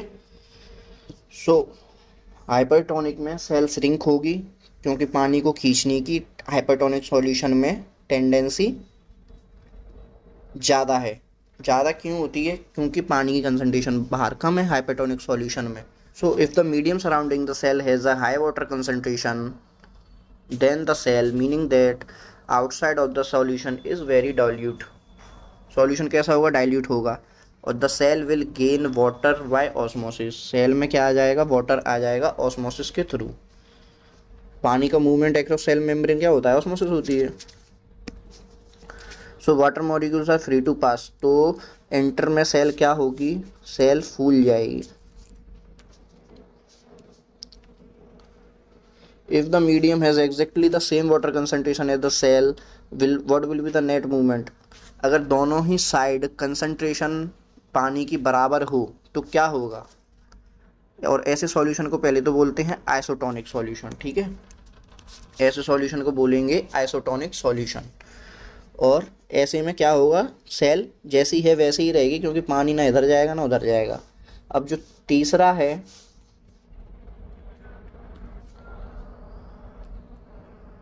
उसमें क्या किया गया है? If the medium has a lower concentration of water अगर मीडियम में लोअर कंसनट्रेशन ऑफ़ वाटर होगी तो ऐसे सॉल्यूशन को क्या बोलेंगे? हाइपरटोनिक सॉल्यूशन ठीक है? हाइपरटोनिक सॉल्यूशन बोलेंगे, क्योंकि जहाँ कंसंट्रेशन पानी की कम होती है, उसको हाइपरटोनिक बोल रहे हैं। देखिए, आप कंफ्यूज मत होइए कि पानी की कंसंट्रेशन कम है तो उसको हाइपोटोनिक बोलना चाहिए। जी नहीं। हम टोनिसिटी किस पे डिपेंड करते हैं? हाइपर हाइपरटोनिक का मतलब क्या है? Tendency to attract water tonicity और हाइपरटोनिक का मतलब क्या होगा? ज़्यादा टेंडेंसी है। और ज़्यादा टेंडेंसी कब होगी? किसी सॉल्यूशन की, पानी को खींचने की। जब उसका खुद का में पानी की कंसंट्रेशन कम होगी, तभी तो पानी ज़्यादा खींच पाएगा। इसलिए हाइपरटोनिक सॉल्यूशन में लो कंसंट्रेशन ऑफ़ वाटर होती है। Again water crosses the cell membrane in both direction but this time इस टाइम क्या होगा? पानी छोड़ देगी सेल और सेल का क्या हो जाएगा? श्रिंक सेल सुखड़ जाएगी। Thus osmosis special case of diffusion through a selectively permeable membrane ये भी हम देख चुके हैं। Unicellular fresh water organisms and most plants cells tend to gain water through osmosis ठीक है? यूनिसेलुलर ऑर्गेनिम्स में ऑस्मोसिस के थ्रू ही वाटर का मूवमेंट होता है एब्जॉर्प्शन होता है। Absorption of water by plant root is also example of osmosis तो ऑस्मोसिस कहाँ कहाँ होती है? यूनिसेलुलर ऑर्गेनिम्स में और प्लांट रूट्स में भी होती है, ठीक है? तो diffusion is important in exchange of gases in water of life in cell ठीक है? सेल में डिफ्यूजन इंपॉर्टेंट है इस तरीके से। In addition to this the cell also obtain nutrition from this environment environment nutrition भी ऐसे ही लेती है। Different molecules move in and out of the cell through a different type of transport requiring use of energy ठीक है? Energy भी जो उनमें लगती है उसके थ्रू जो डिफरेंट मॉलिक्यूल्स हैं वो अंदर बाहर होते हैं। Plasma membrane is flexible and is made up of organic molecules called lipids and proteins however we can observe the structure of plasma membrane only through an electron microscope तो अब यहाँ से प्लाज्मा मेम्ब्रेन की अभी तक हमने movement की बात कर ली कि कैसे होता है प्लाज्मा मेम्ब्रेन सिलेक्टिवली परमिएबिलिटी कैसे करती है, प्लाज्मा मेम्ब्रेन के दो फ़ंक्शन देख लिए हमने डिफ्यूज़न और ऑस्मोसिस होता है। अब वो बता रहे हैं यहाँ से स्ट्रक्चर ऑफ़ प्लाज्मा मेम्ब्रेन कि प्लाज्मा मेम्ब्रेन किस किस के थ्रू बनी हुई है। प्लाज्मा मेम्ब्रेन जो है हमारी वो मोस्टली तीन चीज़ों से मिलकर बनी हुई है। Number one lipids number two protein और नंबर थ्री कार्बोहाइड्रेट्स। ठीक है? कार्बोहाइड्रेट्स तो आप समझते हैं, जैसे कि ग्लूकोज होता है, उसे कार्बोहाइड्रेट बोलते हैं। प्रोटीन आप जानते ही हैं। लिपिड्स क्या है? लिपिड्स बायोलॉजिकल एसिड्स होते हैं। बॉडी के अंदर जो एसिड्स होते हैं, उसे लिपिड बोलते हैं। बेसिकली अगर आप केमिस्ट्री पॉइंट ऑफ़ व्यू से देखेंगे तो उनको ये वाला एसिड होते हैं मॉलिकुलरली ठीक है? उनमें ये कंटेंट होता है सी ओ ओ एच ग्रुप ठीक है? ये इतनी डिटेल की ज़रूरत नहीं है, ये डिफरेंस है। तो एक प्लाज्मा मेम्ब्रेन मोस्टली किन चीज़ों से बनी होती है? लिपिड सबसे ज़्यादा उसमें लिपिड और प्रोटीन ही होते हैं कार्बोहाइड्रेट बहुत कम मात्रा में होते हैं, ठीक है? ये तीन चीज़ें होती हैं mostly structure of plasma membrane देखते हैं तो प्लाज्मा मेम्ब्रेन फ्लेक्सिबल किस वजह से होती है? फ्लेक्सिबिलिटी प्लाज्मा मेम्ब्रेन में जो होती है, वो लिपिड्स की वजह से होती है। फ्लेक्सिबिलिटी मतलब जो प्लाज्मा मेम्ब्रेन अपना शेप और साइज़ और जो मूवमेंट सेल की जो प्लाज्मा मेम्ब्रेन है, वो अपना शेप चेंज कर सकती है, मुड़ सकती है। फ्लेक्सिबिलिटी का मतलब क्या होता है? मुड़ना, घूमना, यही सब। However we can observe the structure लेकिन प्रॉपर स्ट्रक्चर हम कब पता चलेगा? इलेक्ट्रॉन माइक्रोस्कोप में ही पता चलेगा। The flexibility of the cell membrane also enables the cell to engulf in food ठीक है? फ्लेक्सिबिलिटी की वजह से हमको क्या क्या मिल पाता है, क्या क्या हम करने के एक सेल कर कर पाती है। फ़ूड को इनगल्फ कर पाती है, जैसे कि अमीबा में ठीक है? फ़ूड इनगल्फ हो जाता है other material from external such process are known as endocytosis मैंने आपको बताया, सेल के अंदर किसी चीज़ को लेना इन लेना, उसे बोलेंगे endocytosis amoeba acquire its food through such process amoeba में एंडोसाइटोसिस के थ्रू फ़ूड अंदर आता है। ठीक है, ये तो हो गई हमारी सेल मेम्ब्रेन सेल मेम्ब्रेन में हमने क्या क्या देखा? सबसे पहले कि मूवमेंट कैसे होती है? कौन कौन सी मूवमेंट होती है सेल में? डिफ्यूज़न होता है ऑस्मोसिस होता है. डिफ्यूज़न नॉर्मली हर चीज़ का ऑस्मोसिस एक स्पेशल टाइप का डिफ्यूज़न है वाटर का, ठीक है? ये हमने देख लिया था सेल मेम्ब्रेन में. और एक और फ़ंक्शन क्या देखा था? सिलेक्टिवली परमिएबिलिटी देखी थी. मतलब कि सेल हर चीज़ को अंदर नहीं जाने देती, वो चेक करती है सिलेक्ट करके चीज़ों को अंदर भेजती है, एक दूसरा फ़ंक्शन था सेल का। फिर उसके बाद हमने स्ट्रक्चर ऑफ़ सेल देखा था। सेल बनी किस किस चीज़ों से है, ठीक है? ये देखा था। और मूवमेंट ऑफ़ सेल में हमने कुछ प्रोसेसेस भी देखी थी। ठीक है? अलग अलग कंसल्टेशन में रखते हुए हमने देखा था कि सेल सिरिंक होगी हाइपोटोनिक सॉल्यूशन में सेल का क्या होगा। आइसोटोनिक में क्या होगा और हाइपरटोनिक में क्या होगा, ये हमने सेल में देखा था, ठीक है? तो जैसा कि मैंने आपको बताया कि सेल वॉल भी एक कंपोनेंट है। So plant cell in addition to the plasma membrane have another rigid outer covering called the cell wall. ठीक है? प्लांट सेल में सेल मेम्ब्रेन के बाहर भी एक कवरिंग होती है, उसे बोलते हैं cell wall cell wall lies outside the plasma membrane plasma membrane के बाहर होती है सेल वॉल और प्लांट की जो सेल वॉल होती है, वो बनी होती है सेलुलोज की. सेलुलोज की बनी होती है. सेलुलोज क्या है? एक तरह का कार्बोहाइड्रेट ही है. ठीक है? Cellulose is a complex substance and provide structural strength to plants ये कॉम्प्लेक्स सब्सटेंस है और स्ट्रेंथ देता है सेल को, ठीक है?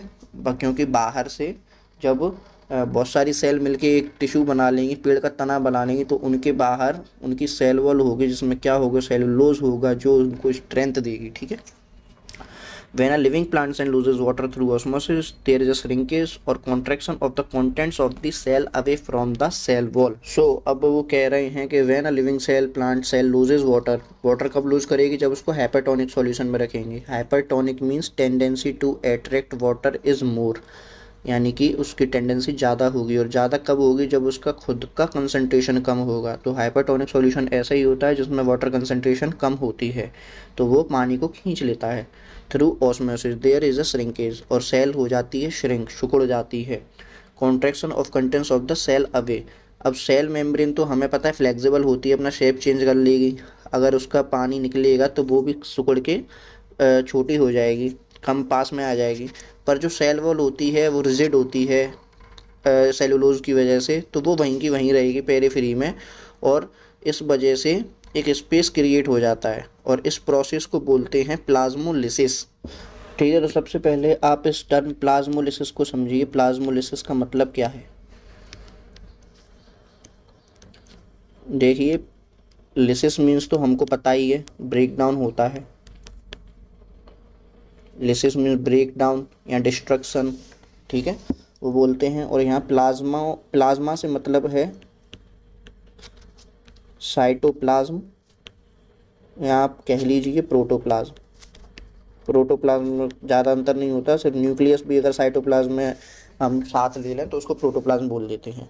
So break down of cytoplasm is called plasmolysis breakdown कैसे?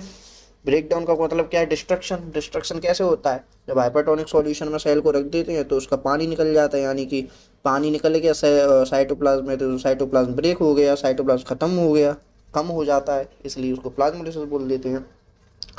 तो ये कैसे हो रहा है? ये हमारी सेल है, जिसके है सेल मेम्ब्रेन और ये अंदर है उसका न्यूक्लियस ठीक है? और जितना भी जो बाहर मटेरियल है, ये है साइटोप्लाज्म हमको पता है साइटोप्लाज्म में सबसे ज़्यादा क्या होता है? पानी होता है। वाटर होता है नाइन्टी परसेंट तक। ठीक है? और ये है इसकी सेल वॉल जो कि ये प्लांट सेल लिए हमने तो इसके अंदर सेल वॉल भी है। अब इस सेल को इन्होंने क्या किया? इसको रख दिया इन्होंने एक हाइपरटोनिक सॉल्यूशन में। एक बोतल में इन्होंने हाइपरटोनिक सॉल्यूशन डाला और उसमें इस सेल को रख दिया। हाइपरटोनिक सॉल्यूशन का मतलब हमको पता है। टोनिक का मतलब होता है टोनिसिटी से। Tonicity means tendency to attract water और हाइपर मीन्स हाई तो कोई ऐसा सॉल्यूशन जिसकी हाई टेंडेंसी हो वाटर को एट्रैक्ट करने की, उस सॉल्यूशन को बोलते हैं हाइपरटोनिक सॉल्यूशन और हाई टेंडेंसी वाटर को अट्रैक्ट कब कर पाएगा? जब उसका खुद में अंदर पानी की कंसनट्रेशन कम हो। तो ऐसे सॉल्यूशन की में वाटर कंसनट्रेशन क्या होती है? लो वाटर कंसनट्रेशन होती है। ठीक है? वाटर कंसनट्रेशन इज़ लो तो जब ऐसे उसमें उन्होंने सेल को रखा तो सेल का क्या होता है फिर? जो ये सेल वॉल है, वो तो वैसी की वैसी ही रहेगी, क्योंकि ये तो एक रिजिड स्ट्रक्चर है। ठीक है? इसका सेप चेंज नहीं होगा। पर हमको पता है कि सेल मेम्ब्रेन होती है, वो फ्लेक्सिबल होती है लिपिड्स की वजह से जिसका सेप चेंज हो जाता है। तो जैसे ही हमने इसको हाइपरटोनिक सॉल्यूशन में रखा तो इसका जो साइटोप्लाज्म का जो है, जो उसकी हो जाती है लिसिस यानी कि उसका हो जाता है ब्रेक डाउन यानी कि जितना भी उसका पानी होता है मोस्टली बाहर आ जाता है उस सॉल्यूशन में। ठीक है? तो इसकी वजह से सेल हो जाती है श्रिंक और वो ऐसे बीच में सुकड़ के पहुँच जाती है। ठीक है? यहाँ पहुँच गई। सेल। तो जो सेल इस इस प्रोसेस को बोल देते हैं plasmolysis break down of cytoplasm cytoplasm का बाहर निकल जाना, वो यहाँ फैल गया। ठीक है?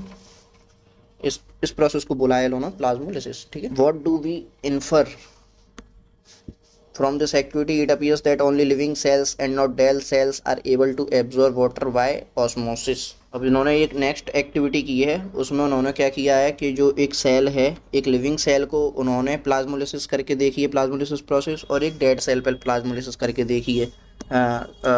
ठीक है? यहाँ उन्होंने एक लिविंग सेल को लिया है और यहाँ उन्होंने डेड सेल को लिया है। तो उन्होंने चेक किया सिर्फ़ प्लाज्मोलिसिस इस सेल में ही हो रही है लिविंग सेल में ही होती है। तो प्लाज्मोलिसिस को हम ये चेक करने के लिए भी यूज़ करते हैं कि सेल डेड है या लिविंग है, ठीक है? देखिए सेल वॉल परमिट करता है सेल्स ऑफ़ प्लांट और फंजाई या बैक्टीरिया इन्हीं तीन जगह पे सेल वॉल होती है। जैसा कि मैंने आपको बताया यूकैरियोट्स में प्लांट और फंजाई में होती है प्रोकैरियोट में बैक्टीरिया के पास होती है सेल वॉल तो ये सेल वॉल इनको अलाउ करती है, इनको सुरक्षा देती है एडवर्स कंडीशंस में। क्योंकि इनको ये मूवमेंट तो कर नहीं सकते। अगर आंधी तूफ़ान कुछ आया इन पे एसिड वैसिड गिर गया तो इनके लिए इनको बचाने के लिए सिर्फ़ इनकी सेल वॉल होती है। ठीक है? तो वो इनको प्रोटेक्शन का काम करती है स्ट्रेंथ का काम करती है। सो so, यह इनको ऐसे मीडियम में भी जहाँ पे एडवर्स कंडीशन है वहाँ पे भी ऑस्मोसिस करने के लिए सेल मेम्ब्रेन को अलाउ करती है क्योंकि बाहर से सेल वॉल प्रोटेक्ट कर रही है। ठीक है? So because of their wall such cells can be withstand much greater changes in surrounding medium than animal cell तो एनिमल सेल से ज़्यादा अच्छी बुरी कंडीशंस में भी ये सेल सर्वाइव कर सकती हैं जिनके पास सेल वॉल्स होती हैं। सो so, अब हम आते हैं नेक्स्ट हमारे जो ऑर्गेनिक है न्यूक्लियस पे। देखिए न्यूक्लियस के बेसिस पे भी एक बेसिस है जिसके बेसिस पे सेल को डिवाइड किया जाता है प्रोकैरियोटिक और यूकैरियोटिक में।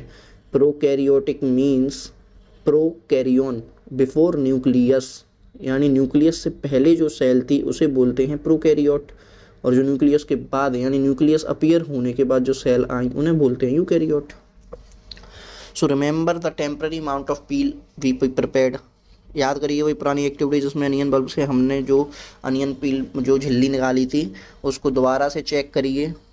उसमें आयोडीन सॉल्यूशन डाली आयोडीन सॉल्यूशन से क्या कलर आ जाता है? तो डिफरेंट डिफरेंट कलर ले लेती हैं न्यूक्लियस अलग कलर लेगा तो सारे हमको अलग अलग दिखने लगते हैं।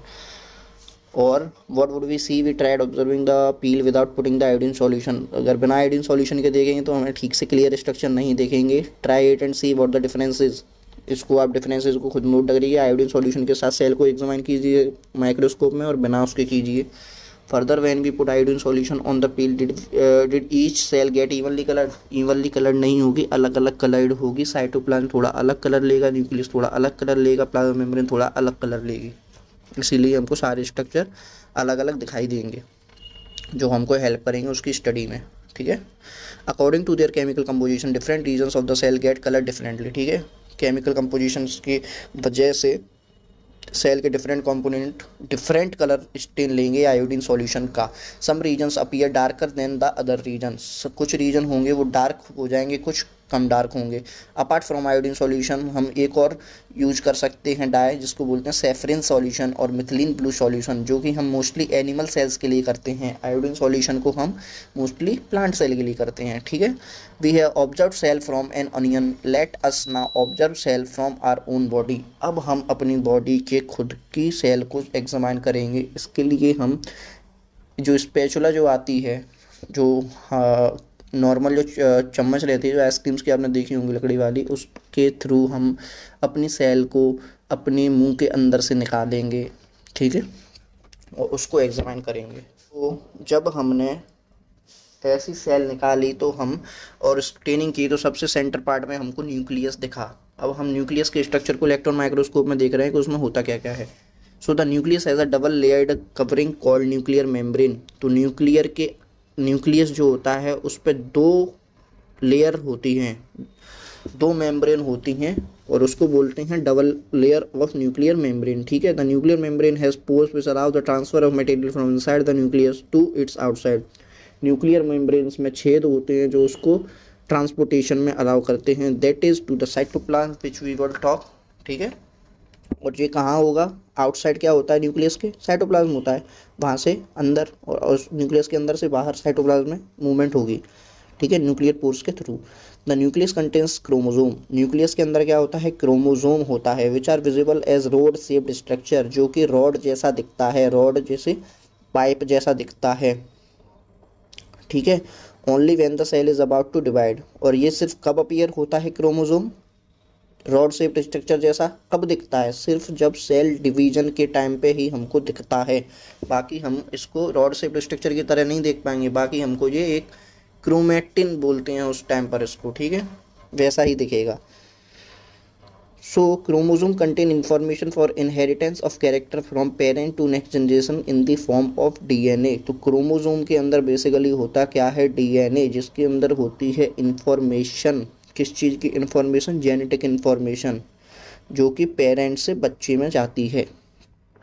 So chromosome are compose of DNA and protein so जो क्रोमोजोम होते हैं, वो बने किस चीज़ के होते हैं? डीएनए और प्रोटीन के।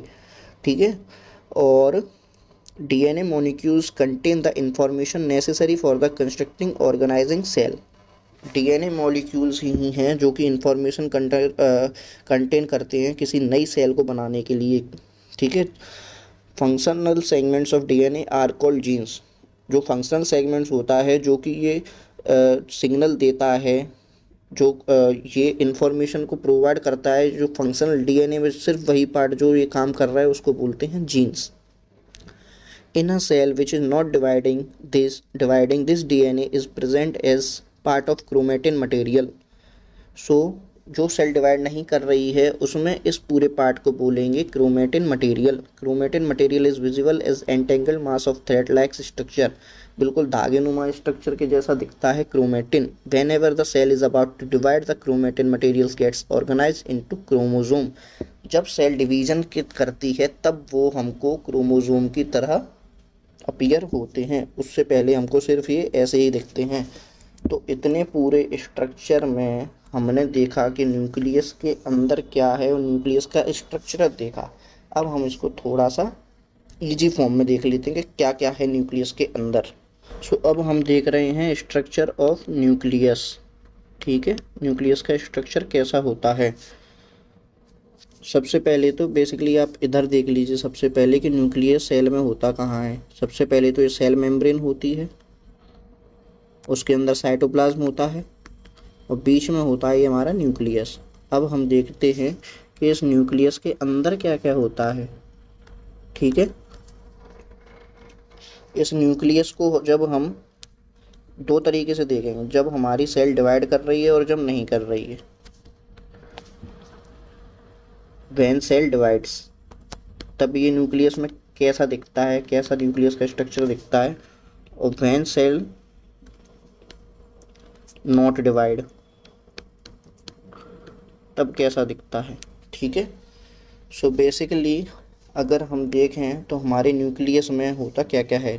इस न्यूक्लियस में होता है हमारे क्रोमोज़ोम ठीक है? और जो क्रोमोज़ोम बना किस चीज़ से होता है? डीएनए प्लस प्रोटीन ठीक है? और डीएनए का सिर्फ़ वही फंक्शनल सेगमेंट जो कि फ़ंक्शन कर रहा है इंफॉर्मेशन को ट्रांसफ़र करने का उसको बोलते हैं जीन। ठीक है? तो एक बेसिक स्ट्रक्चर है कि न्यूक्लियस के अंदर होता क्या है क्या है? न्यूक्लियस के अंदर बेसिकली हमारे क्रोमोजोम होता है, जो डीएनए कंटेंट करता है और डीएनए की फंक्शनल यूनिट को जीन बोलते हैं, जो कि ट्रांसफ़र ऑफ़ कैरेक्टर्स का काम करती है। तो जब हम न्यूक्लियस को ऐसी सेल में देखते हैं, जो कि डिवाइड नहीं कर रही है तो ये जो पूरा जो क्रोमोजोम है, वो हमको सिर्फ़ एक थ्रेड लाइक स्ट्रक्चर जैसा दिखता है। थ्रेड लाइक स्ट्रक्चर सा जैसा दिखता है, जिसे बोलते हैं क्रोमेटिन और जब ये सेल डिवाइड कर रही होती है तो यही क्रोमेटिन हमको रॉड शेप्ड स्ट्रक्चर जैसा दिखता है। इसका स्ट्रक्चर दिखता है न्यूक्लियस के अंदर रॉड शेप्ड स्ट्रक्चर जिसे बोलते हैं हम क्रोमोजोम ठीक है? ये सिर्फ़ सेल डिवीज़न के टाइम ही अपीयर होता है ऐसा स्ट्रक्चर और क्रोमोजोम को तभी दिखता है। इसके अलावा हम इस पूरे मटेरियल को सेल के अंदर क्रोमेटिन ही बोलते हैं। ठीक है? तो न्यूक्लियस का फ़ंक्शन क्या है? Nucleus play a central role in cellular reproduction cellular reproduction में जो हमने देखा था कि एक सेल दूसरी सेल को सेल रिप्रोडक्शन के थ्रू बनाती है तो वो काम सेलुलर उसका मेन रोल न्यूक्लियस का ही होता है the process by which a single cell divides and form new two new cells ठीक है? तो it is also plays a crucial pile along with the environment it determining the way the cell were cell will develop and what form it will exhibit at maturity by directing the chemical activities of the cell so जिस environment में cell का division होता है body के अंदर या बाहर, जिस भी एनवायरनमेंट में सेल डिवाइड होती है तो वो एनवायरनमेंट उस सेल पे अफेक्ट करता है, ठीक है? और जिसकी वजह से उसमें जब वो मैच्योर होती है सेल तो उसमें कुछ उसी टाइप की पर्टिकुलर केमिकल एक्टिविटीज़ होती हैं, उसी तरीके से सेल अपने आप को ढालती है और उस अपना शेप एक्वायर करती है, ठीक है? स्पेसिफिक शेप साइज़ सब वो अपने एनवायरनमेंट के अकॉर्डिंग वो एक्वायर करती है, क्योंकि हम पहले ही देख सकते हैं कि उस एनवायरनमेंट में उसको क्या फ़ंक्शन करना है और फ़ंक्शन पे ही सेल के फ़ंक्शन पे ही डिपेंड करता है सेल का शेप और size so in some organisms like bacteria the nuclear region of the cell may be poorly अब इस पूरे पैराग्राफ में ये बता रहे हैं प्रोकैरियोट और यूकैरियोट क्या होता है ठीक है? सो so, कुछ ऑर्गेनिम्स में जैसे कि प्रिमिटिव ऑर्गेनिम्स बैक्टीरिया हैं, उनमें जो न्यूक्लियर रीजन होता है, वो बहुत ही कम दिखाई देता है पुअरली डिफाइंड होता है due to absence of nuclear membrane क्योंकि उनमें न्यूक्लियर मेम्ब्रेन नहीं होती या कहने न्यूक्लियस ही नहीं होता, ठीक है ना? क्योंकि न्यूक्लियस के अंदर क्या है क्रोमोजोम अब इन ऑर्गेनिज्म में क्या होता है क्रोमोजोम साइटोप्लाज्म में ऐसे ही पड़ा होता है, ठीक है? Such an undefined nuclear region contain only nucleic acid nucleic acid क्या? क्रोमोजोम ठीक है ना? इज़ कॉल्ड अ न्यूक्लियोड और इस रीजन को बोल देते हैं न्यूक्लियोइड इस रीजन को वो बोलते हैं न्यूक्लियोइड मतलब false nucleus nucleus like nucleus नहीं न्यूक्लियोड का मतलब होता है ऑइड मीन्स फॉल्स ऐसे टर्म को हम फॉल्स के लिए यूज़ करते हैं। तो न्यूक्लियस लाइक न्यूक्लियस जैसे दिखने वाला न्यूक्लियस नहीं। Such organisms cell lack a nuclear membrane are called prokaryotes ऐसे सेल्स को बोलते हैं प्रोकैरियोट्स जिनमें सेल जिसमें न्यूक्लियस नहीं होता है। प्रिमिटिव और कैरियोन, ठीक है? प्रिमिटिव पुराना टाइप का न्यूक्लियस। बेसिकली ये न्यूक्लियस है ही नहीं। Organism with the cell having a nuclear membrane are called eukaryotes ये हम पहले ही देख चुके हैं। प्रोकैरियोट सेल्स ऑल्सो अब प्रोकैरियोट सेल्स में यहाँ बता रहे हैं कि उनमें और क्या क्या कमी होती है। प्रोकैरियोट सेल्स में साइटोप्लाज्मिक ऑर्गेनील्स नहीं होते, ठीक है? एक तो प्रोकैरियोटिक सेल में एक क्या नहीं होता? न्यूक्लियस नहीं होता, दूसरा क्या नहीं होता? साइटोप्लाज्मिक ऑर्गेनिल्स नहीं होते, जो साइटोप्लाज्मिक कंपोनेंट्स होते हैं साइटोप्लाज्म में, वो भी नहीं होते प्रोकैरियोट सेल में, ठीक है? So cytoplasm organelles only present in eukaryotic cells many of the function of such organelles are also perform by purely organise parts of the cytoplasm ठीक है? तो जो जो फ़ंक्शन ऑर्गेनिल्स करते हैं यूकैरियोट सेल में, वो प्रोकैरियोटिक सेल में किए जाते हैं poorly organised parts of the cytoplasm. Cytoplasm में ही कुछ ऐसे पार्ट्स प्रोकैरियोटिक सेल के मॉडिफाई हो जाते हैं जो उन कामों को करने लगते हैं। जैसे कि यूकैरियोटिक सेल में chlorophyll, the chlorophyll in photosynthetic prokaryotic bacteria associate with the membrane vesicles bag like structure. But not with the plastid as an eukaryotic cell जैसे कि एग्जांपल आप देखिए यूकैरियोटिक सेल में क्लोरोफिल और जो फोटोसिंथेसिस होती है, वो एक अलग उसके लिए ऑर्गेनील को काम दिया गया है, जिसे बोलते हैं प्लास्टिड ठीक है? पर प्रोकैरियोटिक सेल में कोई ऐसे ऑर्गेनील्स तो होते नहीं हैं तो उनके साइटोप्लाज्म में एक मॉडिफिकेशन हो जाता है, जहाँ एक पर्टिकुलर जगह पे क्लोरोफिल जाके रहता है और वहीं वो अपना फोटोसिंथेसिस का काम करता रहता है, ठीक है? क्योंकि उनमें ऑर्गेनील्स नहीं हैं। तो ऐसे ही पुअरली ऑर्गेनाइज पार्ट्स होते हैं प्रोकैरियोट्स में जो ऑर्गेनील्स जैसा वर्क करते हैं ठीक है? सो प्रोकैरियोट में दो चीज़ नहीं होती न्यूक्लियस और सेल ऑर्गेनिल सेल ऑर्गेनील सिर्फ़ प्रेजेंट होते हैं यूकैरियोट्स में। सो so, अब हमारा नेक्स्ट जो कंपोनेंट है वो है साइटोप्लाज्म कंपोनेंट नहीं जो एक स्ट्रक्चर है जो बेसिक स्ट्रक्चर जो सारे सेल में होते हैं वो है साइटोप्लाज्म हम साइटोप्लाज्म को देखते हैं साइटोप्लाज्म क्या है? So when we look at the temporary amounts of the onion peel onion peel को जब हमने देखा ह्यूमन चीक सेल को जब हमने देखा we can see a large region of the cell enclose by the cell membrane cell membrane के अंदर एक बहुत ज़्यादा बड़ा एरिया कंस्टिट्यूट होता है, वो हमने देखा था। This region takes up the very little stain इसने बहुत कम स्टेन ली थी, ठीक है? बहुत कम कलर इसने लिया था, क्योंकि उसमें पानी ज़्यादा होता है, इसलिए स्टेनिंग कम ले पाता है वो नाइन्टी पानी से बना होता है। स्ट्रक्चर तो है नहीं कोई स्टेनिंग के लिए, ठीक है? It is called the cytoplasm इसी स्ट्रक्चर को बोलते हैं cytoplasm the cytoplasm the fluid content in the plasma membrane cytoplasm plasma अंदर के जितना भी फ्लूड कंटेंट होता है, जो लिक्विड कंटेंट होता है, उसे बोलते हैं साइटोप्लाज्म और अगर न्यूक्लियस को भी कंटेन कर ले तो उसको बोल देंगे प्रोटोप्लाज्म ठीक है? सो साइटोप्लाज्म फ्लूड कंटेंट होता है और इस फ्लूड में मोस्टली 90 परसेंट वाटर ही होता है। It also contains many specialise cell organelles और यही वह पार्ट है जिसमें सारे के सारे सेल ऑर्गेनिल्स प्रेजेंट होते हैं। जितने भी सेल ऑर्गेनिल्स हम पढ़ेंगे, वो सारे इसी में प्रेजेंट होते हैं। Each of this organic performs specific function for the cell ये हमने देख लिया डिवीज़न ऑफ़ लेबर होता है सेल के अंदर भी, जो स्पेसिफिक कंपोनेंट्स यानी कि सेल ऑर्गेनिल्स होते हैं, वो स्पेसिफिक फ़ंक्शन करते हैं। So cell organelles are enclose by membranes cell organelles का एक एक फीचर है। वो उन सारे के सारे सेल ऑर्गेनिल्स के पास होती है मेम्ब्रेन जैसे कि हम न्यूक्लियस को तो देख ही चुके हैं, उसमें डबल मेम्ब्रेन होती है। बाकी के भी जितने सेल ऑर्गेनिल्स हैं, उनमें भी मेम्ब्रेन होती है। सिर्फ़ राइबोजोम को छोड़ के जिसको हम ऑर्गेनिल्स नहीं मानते और वो यूकैरियोट और प्रीकोरियोट दोनों में होता है, पर इसमें मेम्ब्रेन नहीं होती, ये नॉन मेम्ब्रेन बाउंड स्ट्रक्चर है सेल में, ठीक है?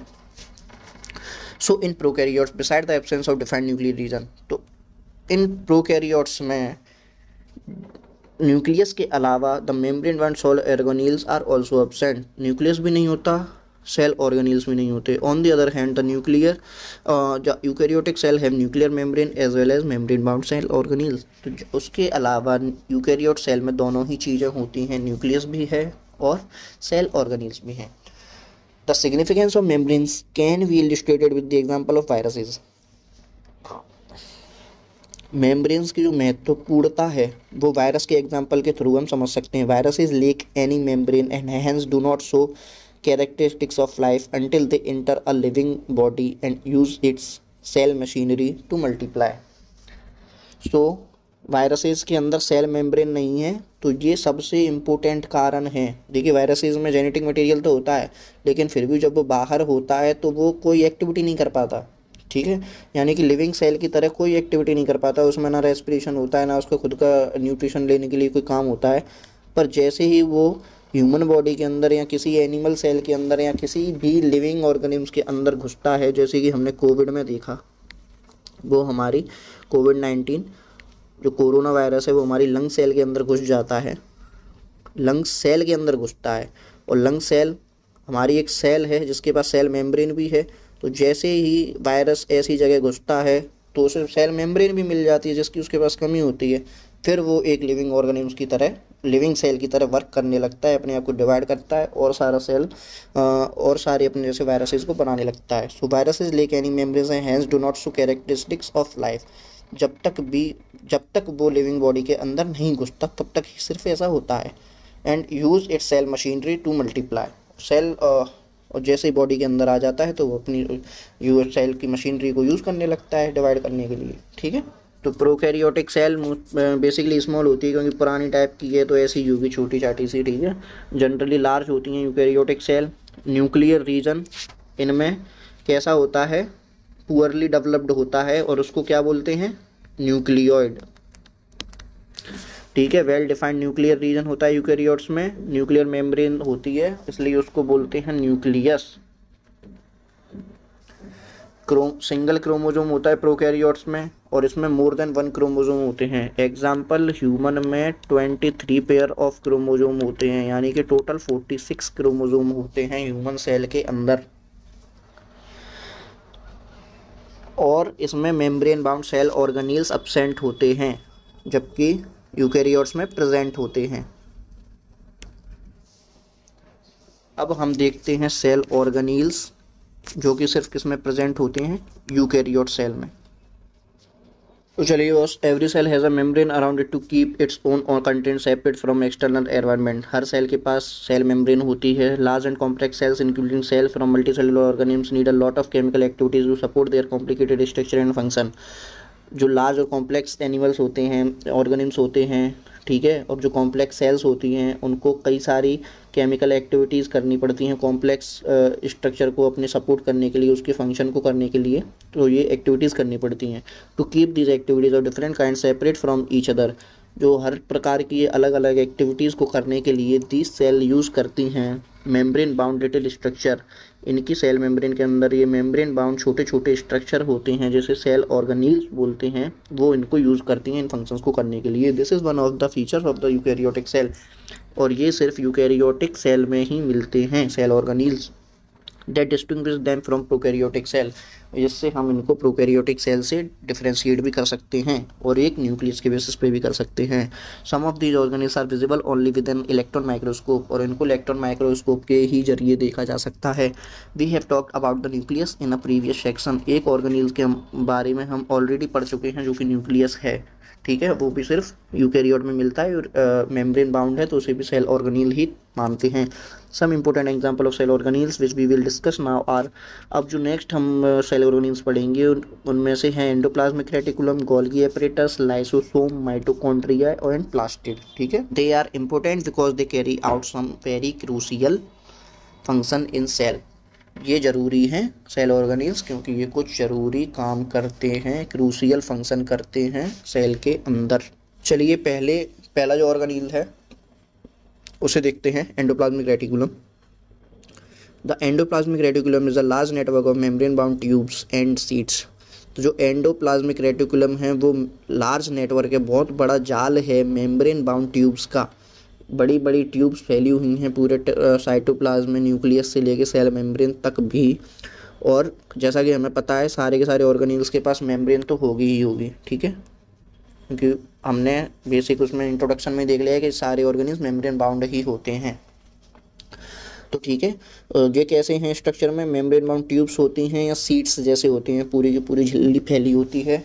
It looks like long tubules और राउंड और ऑबलोंग बैग्स तो इनमें ट्यूब्यूल्स भी होती हैं वेसिकल्स जैसे भी हो सकते हैं। The ER membrane is similar in structure to the plasma membrane ये स्ट्रक्चर में ईयर जो मेम्ब्रेन होगी, वो स्ट्रक्चर में कैसी होगी? प्लाज्मा मेम्ब्रेन जैसी ही होगी। ठीक है? मेम्ब्रेन का सबका स्ट्रक्चर सेम ही होगा वही स्ट्रक्चर होगा लिपिड प्रोटीन और कार्बोहाइड्रेट से मिलकर बनी होगी। थोड़ा थोड़ा अमाउंट ऊपर नीचे हो सकता है। सो so, जो जो ई आर है वो टू टाइप का है। एक तो R E R rough endoplasmic reticulum और एक स्मूथ एंडोप्लाज्मिक रेटिकुलम ये सिर्फ़ एक ही बेसिस पर डिवाइड है। रफ कब हो जाएगा? जब उस पर राइबोसोम्स अटैच्ड हो जाएँगे तो वो खुरदरा सा दिखेगा। इसलिए उसको रफ एंडोप्लाज्मिक रेटिकुलम बोल देंगे और ए सी आर पर कुछ भी अटैच नहीं होगा, उसके ऊपर कुछ भी नहीं चिपका होगा तो इसलिए वो स्मूथ अपेयर होगा। R looks rough under microscope because it has particles को राइबोसोम उनमें राइबोजोम्स होते हैं, इसलिए वो रफ दिखते हैं। देखिए राइबोजोम प्रोटीन बनाता है सेल के अंदर, ठीक है? और ये यूकैरियोट और प्रोकैरियोट दोनों में ही होता है। ये नॉन मेम्ब्रेन बाउंड स्ट्रक्चर है, ठीक है? इसलिए दोनों में प्रेजेंट है।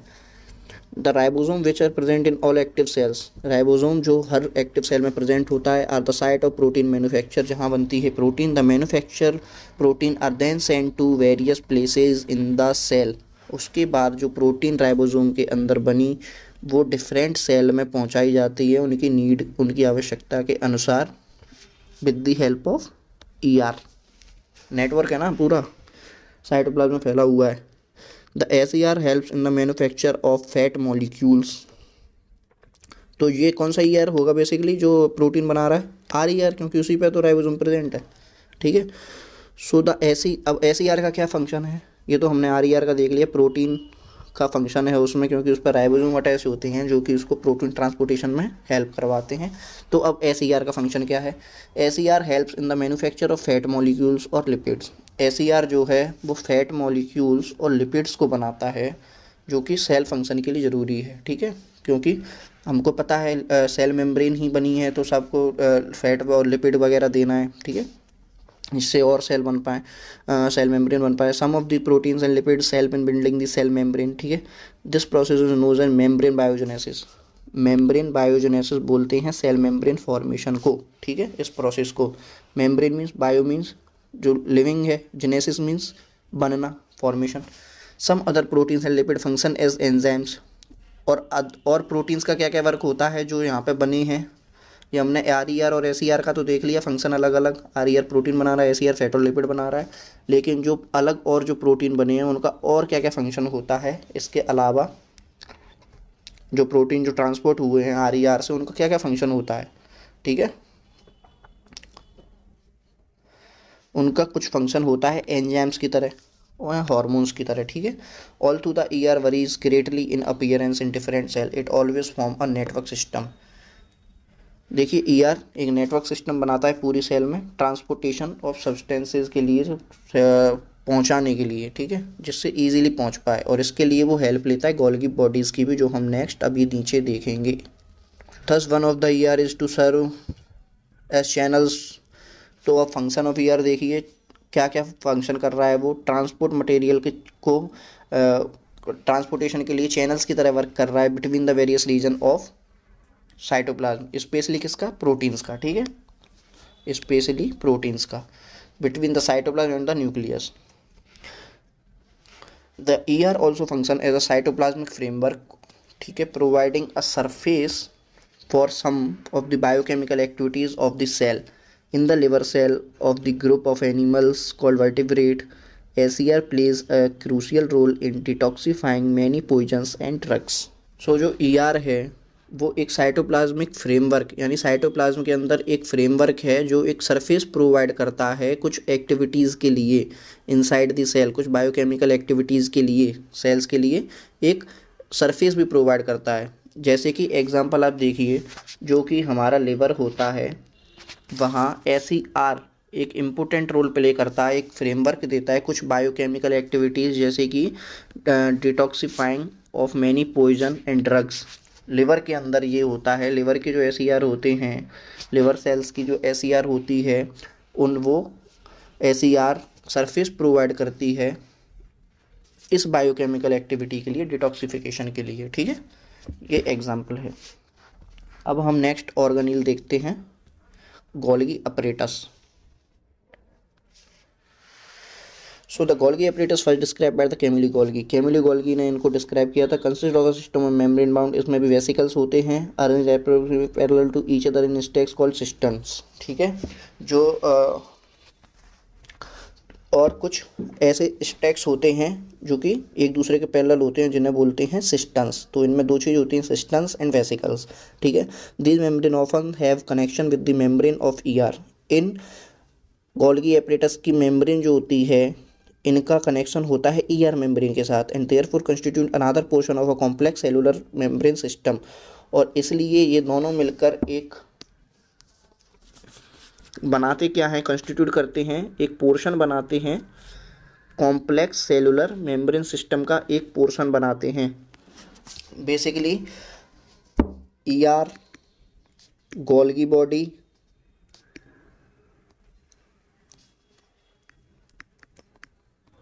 E R Golgi body और लाइसोसोम इन तीनों को मिलाकर बोलते हैं सेल के अंदर एंडोमेम्ब्रेन सिस्टम एंडोमेम्ब्रेनस सिस्टम ठीक है? और उसी का पोर्शन ये बना रहे हैं दोनों मिलकर, ठीक है? कॉम्प्लेक्स सेलुलर मेम्ब्रेन सिस्टम यानी कि एंडोमेम्ब्रेन सिस्टम को कंस्टिट्यूट करते हैं। The material synthesize near the ER is package and passed to various targets so अब इसका काम क्या है? देखिए द मटेरियल जो कि नियर द ई आर यानी कि ई e आर में जो बनाए गए हैं ई e आर में आर ई आर में प्रोटीन बनाया गया था, और एस ई आर में क्या बनाया गया था? लिपिड फैट्स ठीक है? जो ई e आर में जो मटेरियल बने, उनका क्या होगा अब? The material near the E R is package and dispatch to various targets अब वो वेरियस टारगेट्स सेल के, जहाँ जिसको नीड है, वहाँ पहुँचाए जाएँगे इनसाइड और आउटसाइड द सेल सेल के बाहर भी पहुँचाए जाएँगे. थ्रू द गोल्गी एपरेटस किसकी हेल्प से? गोल्गी एपरेटस की हेल्प से. बन तो वहाँ गए, अब पहुँचाएँगे कैसे? ट्यूब्स से पूरी सेल तक भी आ गए। अब सेल के बाहर जाना है, सेल के कहीं किसी और पार्ट में भी जाना है तो वो किसकी हेल्प से जाएँगे? गोल्गी एपरेटस के through its functions include the storage अब गोल्गी एपरेटस क्या करती है? स्टोरेज करती है, जो आर e और एस e से सब्सटेंस आए, उनको मॉडिफाई करती है और उनको मॉडिफाई करके, उनका पैकेजिंग करके उनको बाहर भेजती है। Packaging of products in vesicles उसके वेसिकल्स में करती है ये सब काम, ठीक है? और सिस्टम्स में सारे ये सब काम होते हैं मॉडिफिकेशन पैकेजिंग वगैरह का, और वेसिकल्स के थ्रू बाहर भेजती है। In some cases complex sugars may be made from single sugar in Golgi apparatus complex sugar भी बनाई जाती हैं, ठीक है? शुगर बेसिकली क्या होता है? कार्बोहाइड्रेट होती है, ठीक है? The Golgi apparatus is also involve in the formation of lysosome so जो गोल देखिए मैंने बताया ना एंडोमेम्ब्रेन सिस्टम है E R Golgi body lysosome दोनों एक दूसरे से इंटरकनेक्टेड हैं ई आर की मेम्ब्रेन गोल्गी बॉडी की मेम्ब्रेन से, ठीक है? और जो गोल्गी बॉडी हैं, वो ही बना रही हैं लाइसोसोम्स को, ठीक है? सो बेसिकली होता क्या है? गोल्गी बॉडी का कोई ऐसा वेसिकल जो सारे के सारे हाइड्रोलिज एंजाइम्स कंटेन कर ले यानी कि सेल की को डिस्ट्रॉय करने के लिए ऐसे एंजाइम्स अपने अंदर रख ले, ऐसा वेसिकल उसे ही लाइसोसोम बोल देते हैं। यही लाइसोसोम बन जाता है, ठीक है? अब उसको डिटेल में देख लेते हैं। Structurally lysosomes are membrane bound sacs filled with digestive enzymes structurally क्या होता है? मेम्ब्रेन बाउंड ऑर्गेनिल होते हैं, यानी कि सेक्स होते हैं। यही वेसिकल्स जो हमने गोल्गी बॉडी में देखे, वही एक वेसिकल गोल्गी बॉडी में से आग के अपने अंदर ऐसे सारे डाइजेस्टिव एंजाइम्स कंस्टिट्यूट कर लेता है, उसे बोल देते हैं हम lysosome these enzymes are made by R E R enzymes basically होते क्या हैं? प्रोटीन्स प्रोटीन्स कहाँ बनते हैं? आर ई आर पे. ठीक है? सो जो दीज एंजाइम्स कहाँ बनेंगे सारे के सारे? आर ई आर पे. Lysosomes are a kind of waste disposal system of the cell जैसे कि हमारी बॉडी में डाइजेशन का काम करती है, हमारी इंटेस्टाइन स्टमक वैसे ही सेल के अंदर डाइजेशन का काम करता है लाइजोसोम ठीक है? These help to keep the cell clean by digesting any foreign material as well as worn out cell organisms जो कि क्या काम करेगा अगर कोई बाहर से बैक्टीरिया वैक्टीरिया घुस गया सेल के अंदर और सेल की जो पुरानी चीज़ें हैं जो अब काम में नहीं आ रही हैं उनको डाइजेस्ट करने का काम करता है foreign material entering the cell such as bacteria or food as well as old organisms end up in the lysosome जो लाइसोसोम में एंड अप क्या क्या होता है क्या क्या ख़त्म होता है फॉरेन मटेरियल्स और पुराने ऑर्गेनिल्स तो ये करते क्या हैं which break complex substance into simpler substances complex substance को एग्ज़ाम्स की हेल्प से सिंपल सब्सटेंसेज में तोड़ देते हैं। Lysosome are able to do this because they contain powerful digestive enzymes capable of breaking down और ऑर्गेनिक मटेरियल ये सब होता है किसकी हेल्प से? एंजाइम्स की हेल्प से। During the disturbance in cellular metabolism for example when the cell gets damaged lysosome may burst and the enzyme digest their own cell अगर सेल में खुद ही कुछ ऐसा हो जाए कि वो दूसरी सेल को अफेक्ट करने लगे या सेल कुछ गलत काम करने लगे, जैसे कि कोई गलत प्रोटीन बना रहा है जो कि शरीर को अफेक्ट करे या कोई ऐसा बायोकेमिकल एसिड बन गया सेल में जो कि सेल अपनी बॉडी को नुकसान पहुँचा रही है तो लाइजोसोम खुद ही पूरी की पूरी सेल को डाइजेस्ट करके ख़त्म कर देते हैं। इसलिए इनको सुसाइड बैग्स भी बोलते हैं, ठीक है? अब हमारा जो नेक्स्ट ऑर्गेनिल है माइटोकॉन्ड्रिया उसको देखते हैं। Mitochondria known as powerhouse of the cell mitochondria को powerhouse of the cell बोलते हैं, क्योंकि ये पावर प्रोवाइड करता है पूरी की पूरी सेल को। जितनी भी एक्टिविटी साइटोप्लाज्म में हो रही हैं आर ई आर में हो रही हैं साइटोप्लाज्म जो आर ई आर है गोल की बॉडी है, सब प्रोटीन बना रहे हैं, भेज रहे हैं, इन सबको चाहिए एनर्जी और ये एनर्जी आती कहाँ से है? माइटोकॉन्ड्रिया से, ठीक है? Mitochondria have two membrane covering mitochondria और न्यूक्लियस दो ही ऐसे ऑर्गेनिल्स हैं जिस पर दो मेम्ब्रेन कवरिंग होती है एनिमल सेल में, ठीक है? The outer membrane is porous while the inner membrane is deeply folded इसकी भी दो मेम्ब्रेन में से आउटर मेम्ब्रेन न्यूक्लियर की भी पोरस थी, इसकी भी पोरस है, ठीक है? और अंदर वाली काफ़ी डीपली फोल्डेड होती है, ठीक है? उसमें काफ़ी सारे फोल्ड होते हैं जो कि सरफेस एरिया बढ़ा देते हैं। These fold increase surface area for a generating chemical reaction क्योंकि अंदर की ही जो मेम्ब्रेन होती है, उस पर ही एटीपी बनता है माइटोकॉन्ड्रिया के अंदर। और जितने ज़्यादा फोल्ड होंगे, उतनी ज़्यादा एटीपी उस मेम्ब्रेन पर बन पाएँगे। The energy required for various chemical activities need needed for life is release by mitochondria in the form of ATP तो जो एटीपी है, जो एनर्जी अपने अंदर स्टोर करता है एक्टिविटीज़ के लिए। किसी भी सेल के अंदर so A T P is known as the energy currency of the cell A T P को ही एनर्जी करेंसी बोलते हैं सेल की. The body uses energy store in the A T P for making new chemical compound and for mechanical work तो body कैसे use करती है इस ए टी पी को? नए कंपाउंड्स बनाने के लिए, जैसे कि आर ई आर प्रोटीन बनाने के लिए ले लेगा S E R lipid fat बनाने के लिए ले लेगा गोल्गी बॉडीज़ को ट्रांसपोर्टेशन के लिए एनर्जी चाहिए मेम्ब्रेन में इनको पैक करने के लिए मॉडिफिकेशन के लिए एनर्जी चाहिए तो वो इनको वहाँ से उस, ये सब काम करने के लिए गोल्गी बॉडीज़ ए ले लेगा तो ये सब काम करने के लिए एटीपी चाहिए। Mitochondria are strange organism in the sense that they have their own DNA and ribosome देखिए माइटोकॉन्ड्रिया एक अलग ही ऑर्गेनील्स है। थोड़ा स्ट्रेंज टाइप का ऑर्गेनील्स है इन द सेंस किस वजह से? क्योंकि इस पर खुद का अपना डीएनए है। मतलब सेल के अंदर तो बेसिकली डीएनए होता कहाँ है? न्यूक्लियस के अंदर, ठीक है?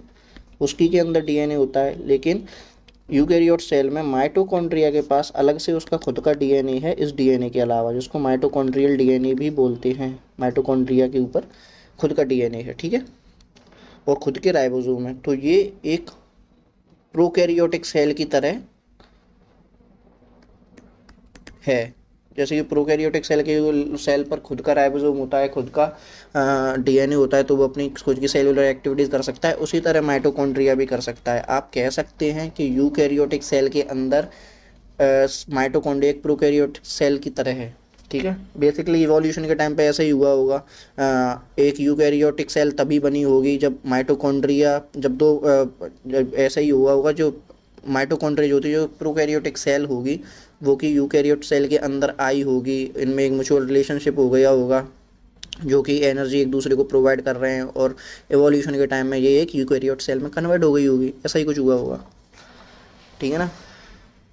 So therefore mitochondria able to make some of their own proteins ribosomes खुद के हैं तो राइबोसोम प्रोटीन बनाते हैं तो ये अपने लिए खुद भी प्रोटीन बना सकते हैं। अब देखते हैं हम plastids plastids are present only in अब तक हमने जितने ऑर्गेनिज देखे, वो एनिमल प्लांट सेल वो हर सेल में, हर यूकैरियोट सेल में होते हैं, लेकिन प्लास्टिड जो हैं, वो सिर्फ़ एनिमल सेल में ही, वो ओनली सिर्फ़ प्लांट सेल में ही होते हैं, ठीक है? There are two types of plastid plastid दो टाइप के होते हैं क्रोमोप्लास्ट क्रोमो मीन्स कलर होता है coloured plastid and leucoplast leuco means white होता है, या कलरलेस प्लास्टिड ठीक है? जैसे कि हम बॉडी में भी देखते हैं ल्यूकोसाइट्स वाइट ब्लड सेल्स ठीक है? Chromoplast containing the pigment chlorophyll तो क्रोमोप्लास्ट जो कलर होते हैं, वो किस वजह से होते हैं? क्योंकि वो पिगमेंट कंटेन करते हैं, जिसे बोलते हैं क्लोरोफिल और अगर वो क्लोरोफिल कंटेन करेंगे क्रोमोप्लास्ट तो उनको बोल देंगे क्लोरोप्लास्ट ठीक है? क्लोरोप्लास्ट क्रोमोप्लास्ट के भी कुछ टाइप होते हैं, ठीक है? क्लोरोप्लास्ट तो अभी हम देखते हैं chloroplast are important for photosynthesis in plants जैसा कि हमने देखा था कि जो क्लोरोप्लास्ट ऐसे प्लास्टिड हैं जो कि क्लोरोफिल कंटेन करते हैं और क्लोरोफिल ही ज़रूरी है फोटोसिंथेसिस करने के लिए प्लांट्स में, जिसके द्वारा फ़ूड बनता है। Chloroplast also contain various yellow और orange pigments in addition to chlorophyll chlorophyll के अलावा कुछ येलो और ऑरेंज पिगमेंट भी कंटेन करते हैं, पर मोस्टली वो क्लोरोफिल ही करते हैं, जिससे उनका ग्रीन कलर हो जाता है और उनको बोलते हैं क्रोमोप्लास्ट ठीक है? अब इसके अलावा एक और टाइप का का प्लास्टिड है। ये तो कलर्ड प्लास्टिड हो गए क्लोरोप्लास्ट हो गया। अब इसके अलावा leucoplast are primary organelles in which material such as starch oils and proteins granules are dispose leucoplast ऐसे प्लास्टिड हैं जिनमें क्लोरोफिल तो नहीं होता, जिसलिए उनमें कलर भी नहीं होता, पर ये क्या कंटेन करते हैं? स्टोरेज का काम करते हैं प्लांट में ये। स्टार्च ऑयल, प्रोटीन, ये सबको अपने अंदर स्टोर करेंगे, ठीक है ना? The internal organisation of chloroplast consist of numerous membrane layers embedded in a material called stroma. तो जो क्रोमो, क्लोरोप्लास्ट के अंदर जो फ्लूड मटेरियल होगा, उसको स्ट्रोमा बोलेंगे, ठीक है? जैसे कि सेल के अंदर साइटोप्लाज्म होता है, उसी तरह क्लोरोप्लास्ट के अंदर स्ट्रोमा होता है फ्लूड मटेरियल फ्लूड कंटेंट। और उस स्ट्रोमा में बहुत सारे मेम्ब्रेन की लेयर होती हैं। ठीक है? उन उन मेम्ब्रेन्स को वैसे थाइलाकॉइड मेम्ब्रेन बोलते हैं, जो आप आगे देखेंगे। बेसिकली क्लोरोप्लास्ट के अंदर थाइलाकॉइड मेम्ब्रेन होती हैं, जो कि उस फ्लूड कंटेंट में प्रेजेंट होती हैं, जिसे स्ट्रोमा बोलते हैं। These are similar to mitochondria external structure बाहरी स्ट्रक्चर में ये माइटोकॉन्ड्रिया जैसे ही होते हैं, जैसे कि डबल लेयर मेम्ब्रेन वगैरह, ये सब पूरस मेम्ब्रेन वगैरह होती है, ये सब, ठीक है? Like mitochondria plastids also have their own DNA and ribosome वो मैंने आपको एनिमल में बताया था, लेकिन प्लांट में ऐसे दो ऑर्गेनिल हो गए प्लास्टिड और माइटोकॉन्ड्रिया जो खुद का डीएनए और ऑर्गेनिल राइबोसोम कंटेन करते हैं। अब हम नेक्स्ट ऑर्गेनिल देखते हैं vacuoles vacuoles are storage sacs for solid और लिक्विड कंटेंट्स सॉलिड और लिक्विड कंटेंट को स्टोर करने के लिए अलग से ऑर्गेनील है वैक्यूल्स जो कि मोस्टली एनिमल्स वो प्लांट सेल में ही ज़्यादा बड़ा होता है, क्योंकि एनिमल सेल में तो यूज़ अप होते रहते हैं जल्दी जल्दी. Vacuoles are small size in animal cell well plant cell है वेरी लार्ज वैक्यूल्स ठीक है? The central vacuole of some plant cell may be occupy fifty to ninety percent of the cell volume plant cell में ये काफ़ी बड़े होते हैं, पचास से नब्बे परसेंट तक सेल का एरिया कवर कर सकते हैं। In plant cell vacuoles are full of cell sap and provide turgidity and turgidity to the cell ठीक है? ये सेल के अंदर अगर आप पानी भर दोगे, अगर आप खुद सोचिए, एक बलून के अंदर, दूसरा बलून पानी भर के अंदर रखोगे तो बाहर की स्ट्रक्चर को क्या होगा? रिजिडिटी मिलेगी। ऐसे इसके अंदर है। Many substance of importance in life of the plant cell are stored in vacuoles बहुत से सब्सटेंस जो इम्पोर्टेंस होते हैं, वो वैक्यूल्स के अंदर ही स्टोर होते हैं। These include amino acid sugar जो भी सेल मेम्ब्रेन ऐसी चीज़ों को बनाने के लिए काम आ रहे हैं। बेसिक मेटाबॉलिज्म के लिए काम आएँगे, वो सब इसी के अंदर प्रेजेंट होंगे बड़े बड़े molecules in single celled organisms like amoeba the food vacuole contain the food items that the amoeba has consumed consume जो अमीबा जो भी अपनी सेल मेम्ब्रेन के थ्रू एंडोसाइटोसिस करके जो भी फ़ूड मटेरियल अंदर लेता है, वो ऐसे ही वैक्यूल में स्टोर होता है और उसे बोलते हैं फ़ूड वैक्यूल ठीक है? अमीबा एक यूनिसेलुलर ऑर्गेनिम्स है। In some unicellular organisms, pili vacuoles also play an important role in expelling excess water and some waste from the cell. ऐसे ही यूनिसेलुलर ऑर्गेनिम्स में एक्सेस वाटर को एसी वैक्यूल्स में स्टोर करके बाहर फेंका जाता है। Each cell thus acquires it structure and ability to function because of the organisation of its membrane and organelles in specific ways अब यहाँ तो हमारे ऑर्गेनिल्स यहाँ तक तो ख़त्म हो गए। अब हम नॉर्मली देखते हैं जितना हमने पढ़ा है तो क्या कह रहे हैं अभी ये? Each cell thus acquires it structure and ability to function तो जो हर प्रत्येक जो सेल होती है, वो अपना स्पेसिफिक फ़ंक्शन या जो फ़ंक्शन वो एबल होती है करने के लिए, और जो स्ट्रक्चर वो एक्वायर करती है, वो उसके किस पर डिपेंड करती है? ऑर्गेनाइजेशन ऑफ़ उसकी मेम्ब्रेन पे, और उसमें ऑर्गेनिल्स किस तरीके से और कितने अमाउंट में प्रेजेंट हैं, वो डिसाइड करते हैं। The cell thus has a basic structural organisation तो नॉर्मल सेल में और हर सेल में यही बेसिक स्ट्रक्चरल ऑर्गेनाइजेशन में सब में मोस्टली यही चीज़ें मिलती हैं।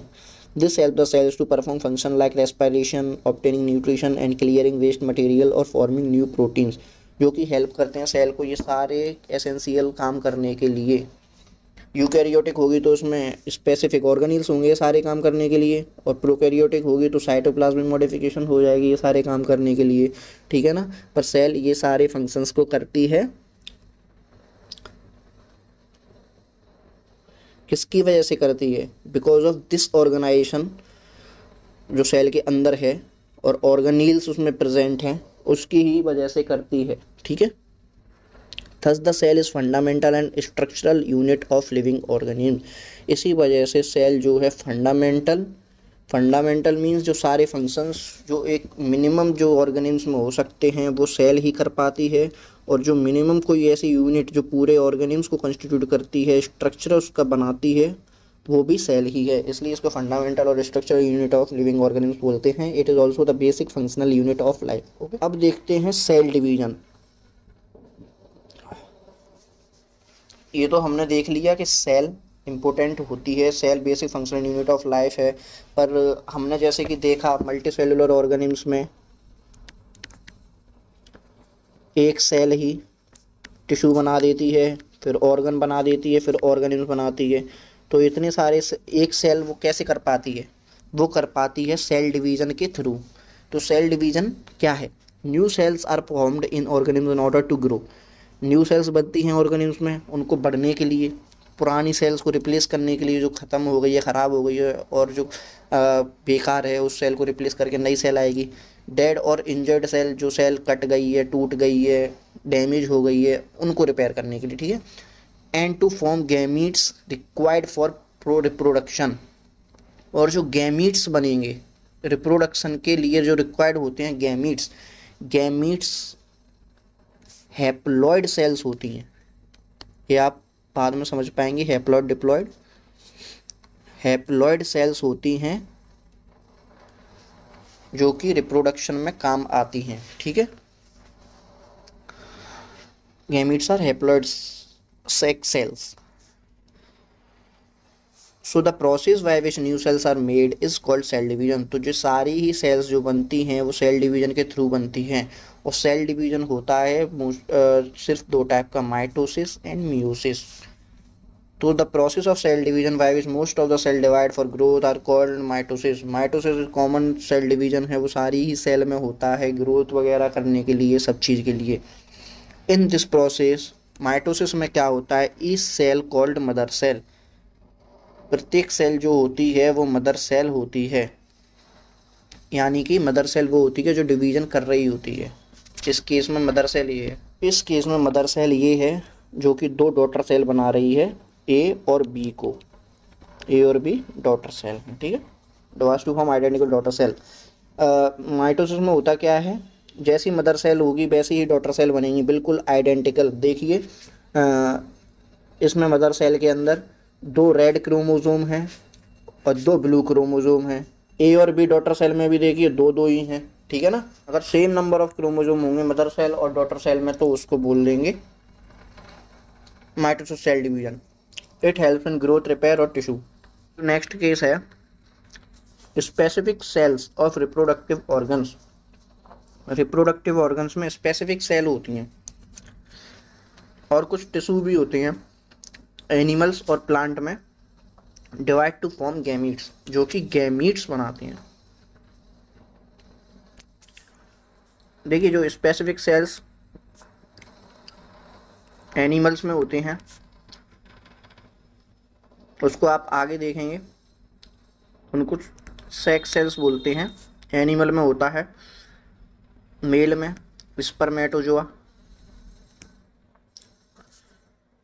ठीक है ना? और वोमेन में होता है ओवा तो ये जो सेक्स सेल्स हैं, ये बनाती हैं गैमीट्स जो कि हैप्लॉइड होती हैं, जिनमें क्रोमोजोम नंबर उनकी मदर सेल का आधा होता है which after fertilisation give rise to offspring fertilisation का मतलब होता है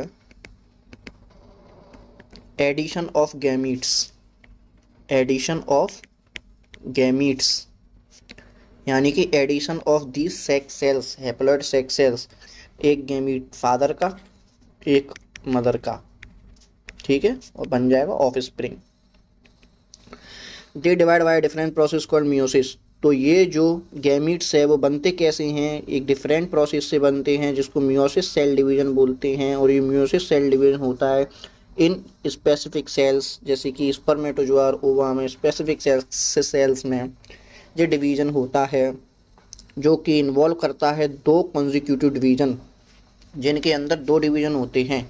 इसमें देखिए, सिर्फ़ एक ही डिवीज़न हुआ, यहाँ पे दो डिवीज़न हो रहे हैं, एक और दो, ठीक है म्यूसिस में और साथ ही साथ होंगे दोनों division the new cells only have half the number of chromosome than that mother cell mother cell में देखिए, दो रेड क्रोमोजोम हैं, दो ब्लू क्रोमोजोम हैं। अब जो final A B C D daughter cell बनी हैं, उनमें आप देखिए, एक रेड क्रोमोजोम एक ब्लू क्रोमोजोम है तो आधा रह गया। तो जब आधा रह जाता है, इसको बोलते हैं meiosis cell division the new cells only have half number ठीक है? Can you think as to why the chromosome number has reduce to half in daughter cell ऐसा क्यों होता है? आधा क्यों हो जाता है? क्योंकि जैसा कि मैंने आपको बताया, जो ए बी सी डी जो बनी है, वो डॉटर सेल जो कि गैमीट्स बने हैं, ये सेक्स सेल है जिसको यहाँ मदर सेल भी बोल रहे हैं। ये एक स्पेसिफिक सेक्स सेल है, जिसमें कि मियोसिस डिवीज़न होती है, ठीक है? अब जब इसमें ये मियोसिस डिवीज़न होगी तो ये डॉटर सेल बनेंगे, इनको गैमिट्स बोलते हैं। और इन्हीं हाफ़ नंबर ऑफ़ क्रोमोजोम को हैप्लॉइड कंटेंट बोलते हैं। इसको आप और डिटेल में आगे देखेंगे। तो ये बेसिकली ये चैप्टर है। इतना सब आपने देख लिया है। काफ़ी इजी चैप्टर है। आशा करता हूँ आपको सब कुछ समझ में आएगा। प्लीज़ जो भी आपकी जो भी कन्फ्यूज़न हो, उसको कमेंट में वीडियो के साथ देखते देखते ही नीचे कमेंट में बताएँ। मैं आपको ज़रूर सॉल्व करूँगा, अगर कुछ रह गया है तो। Thank you so much guys.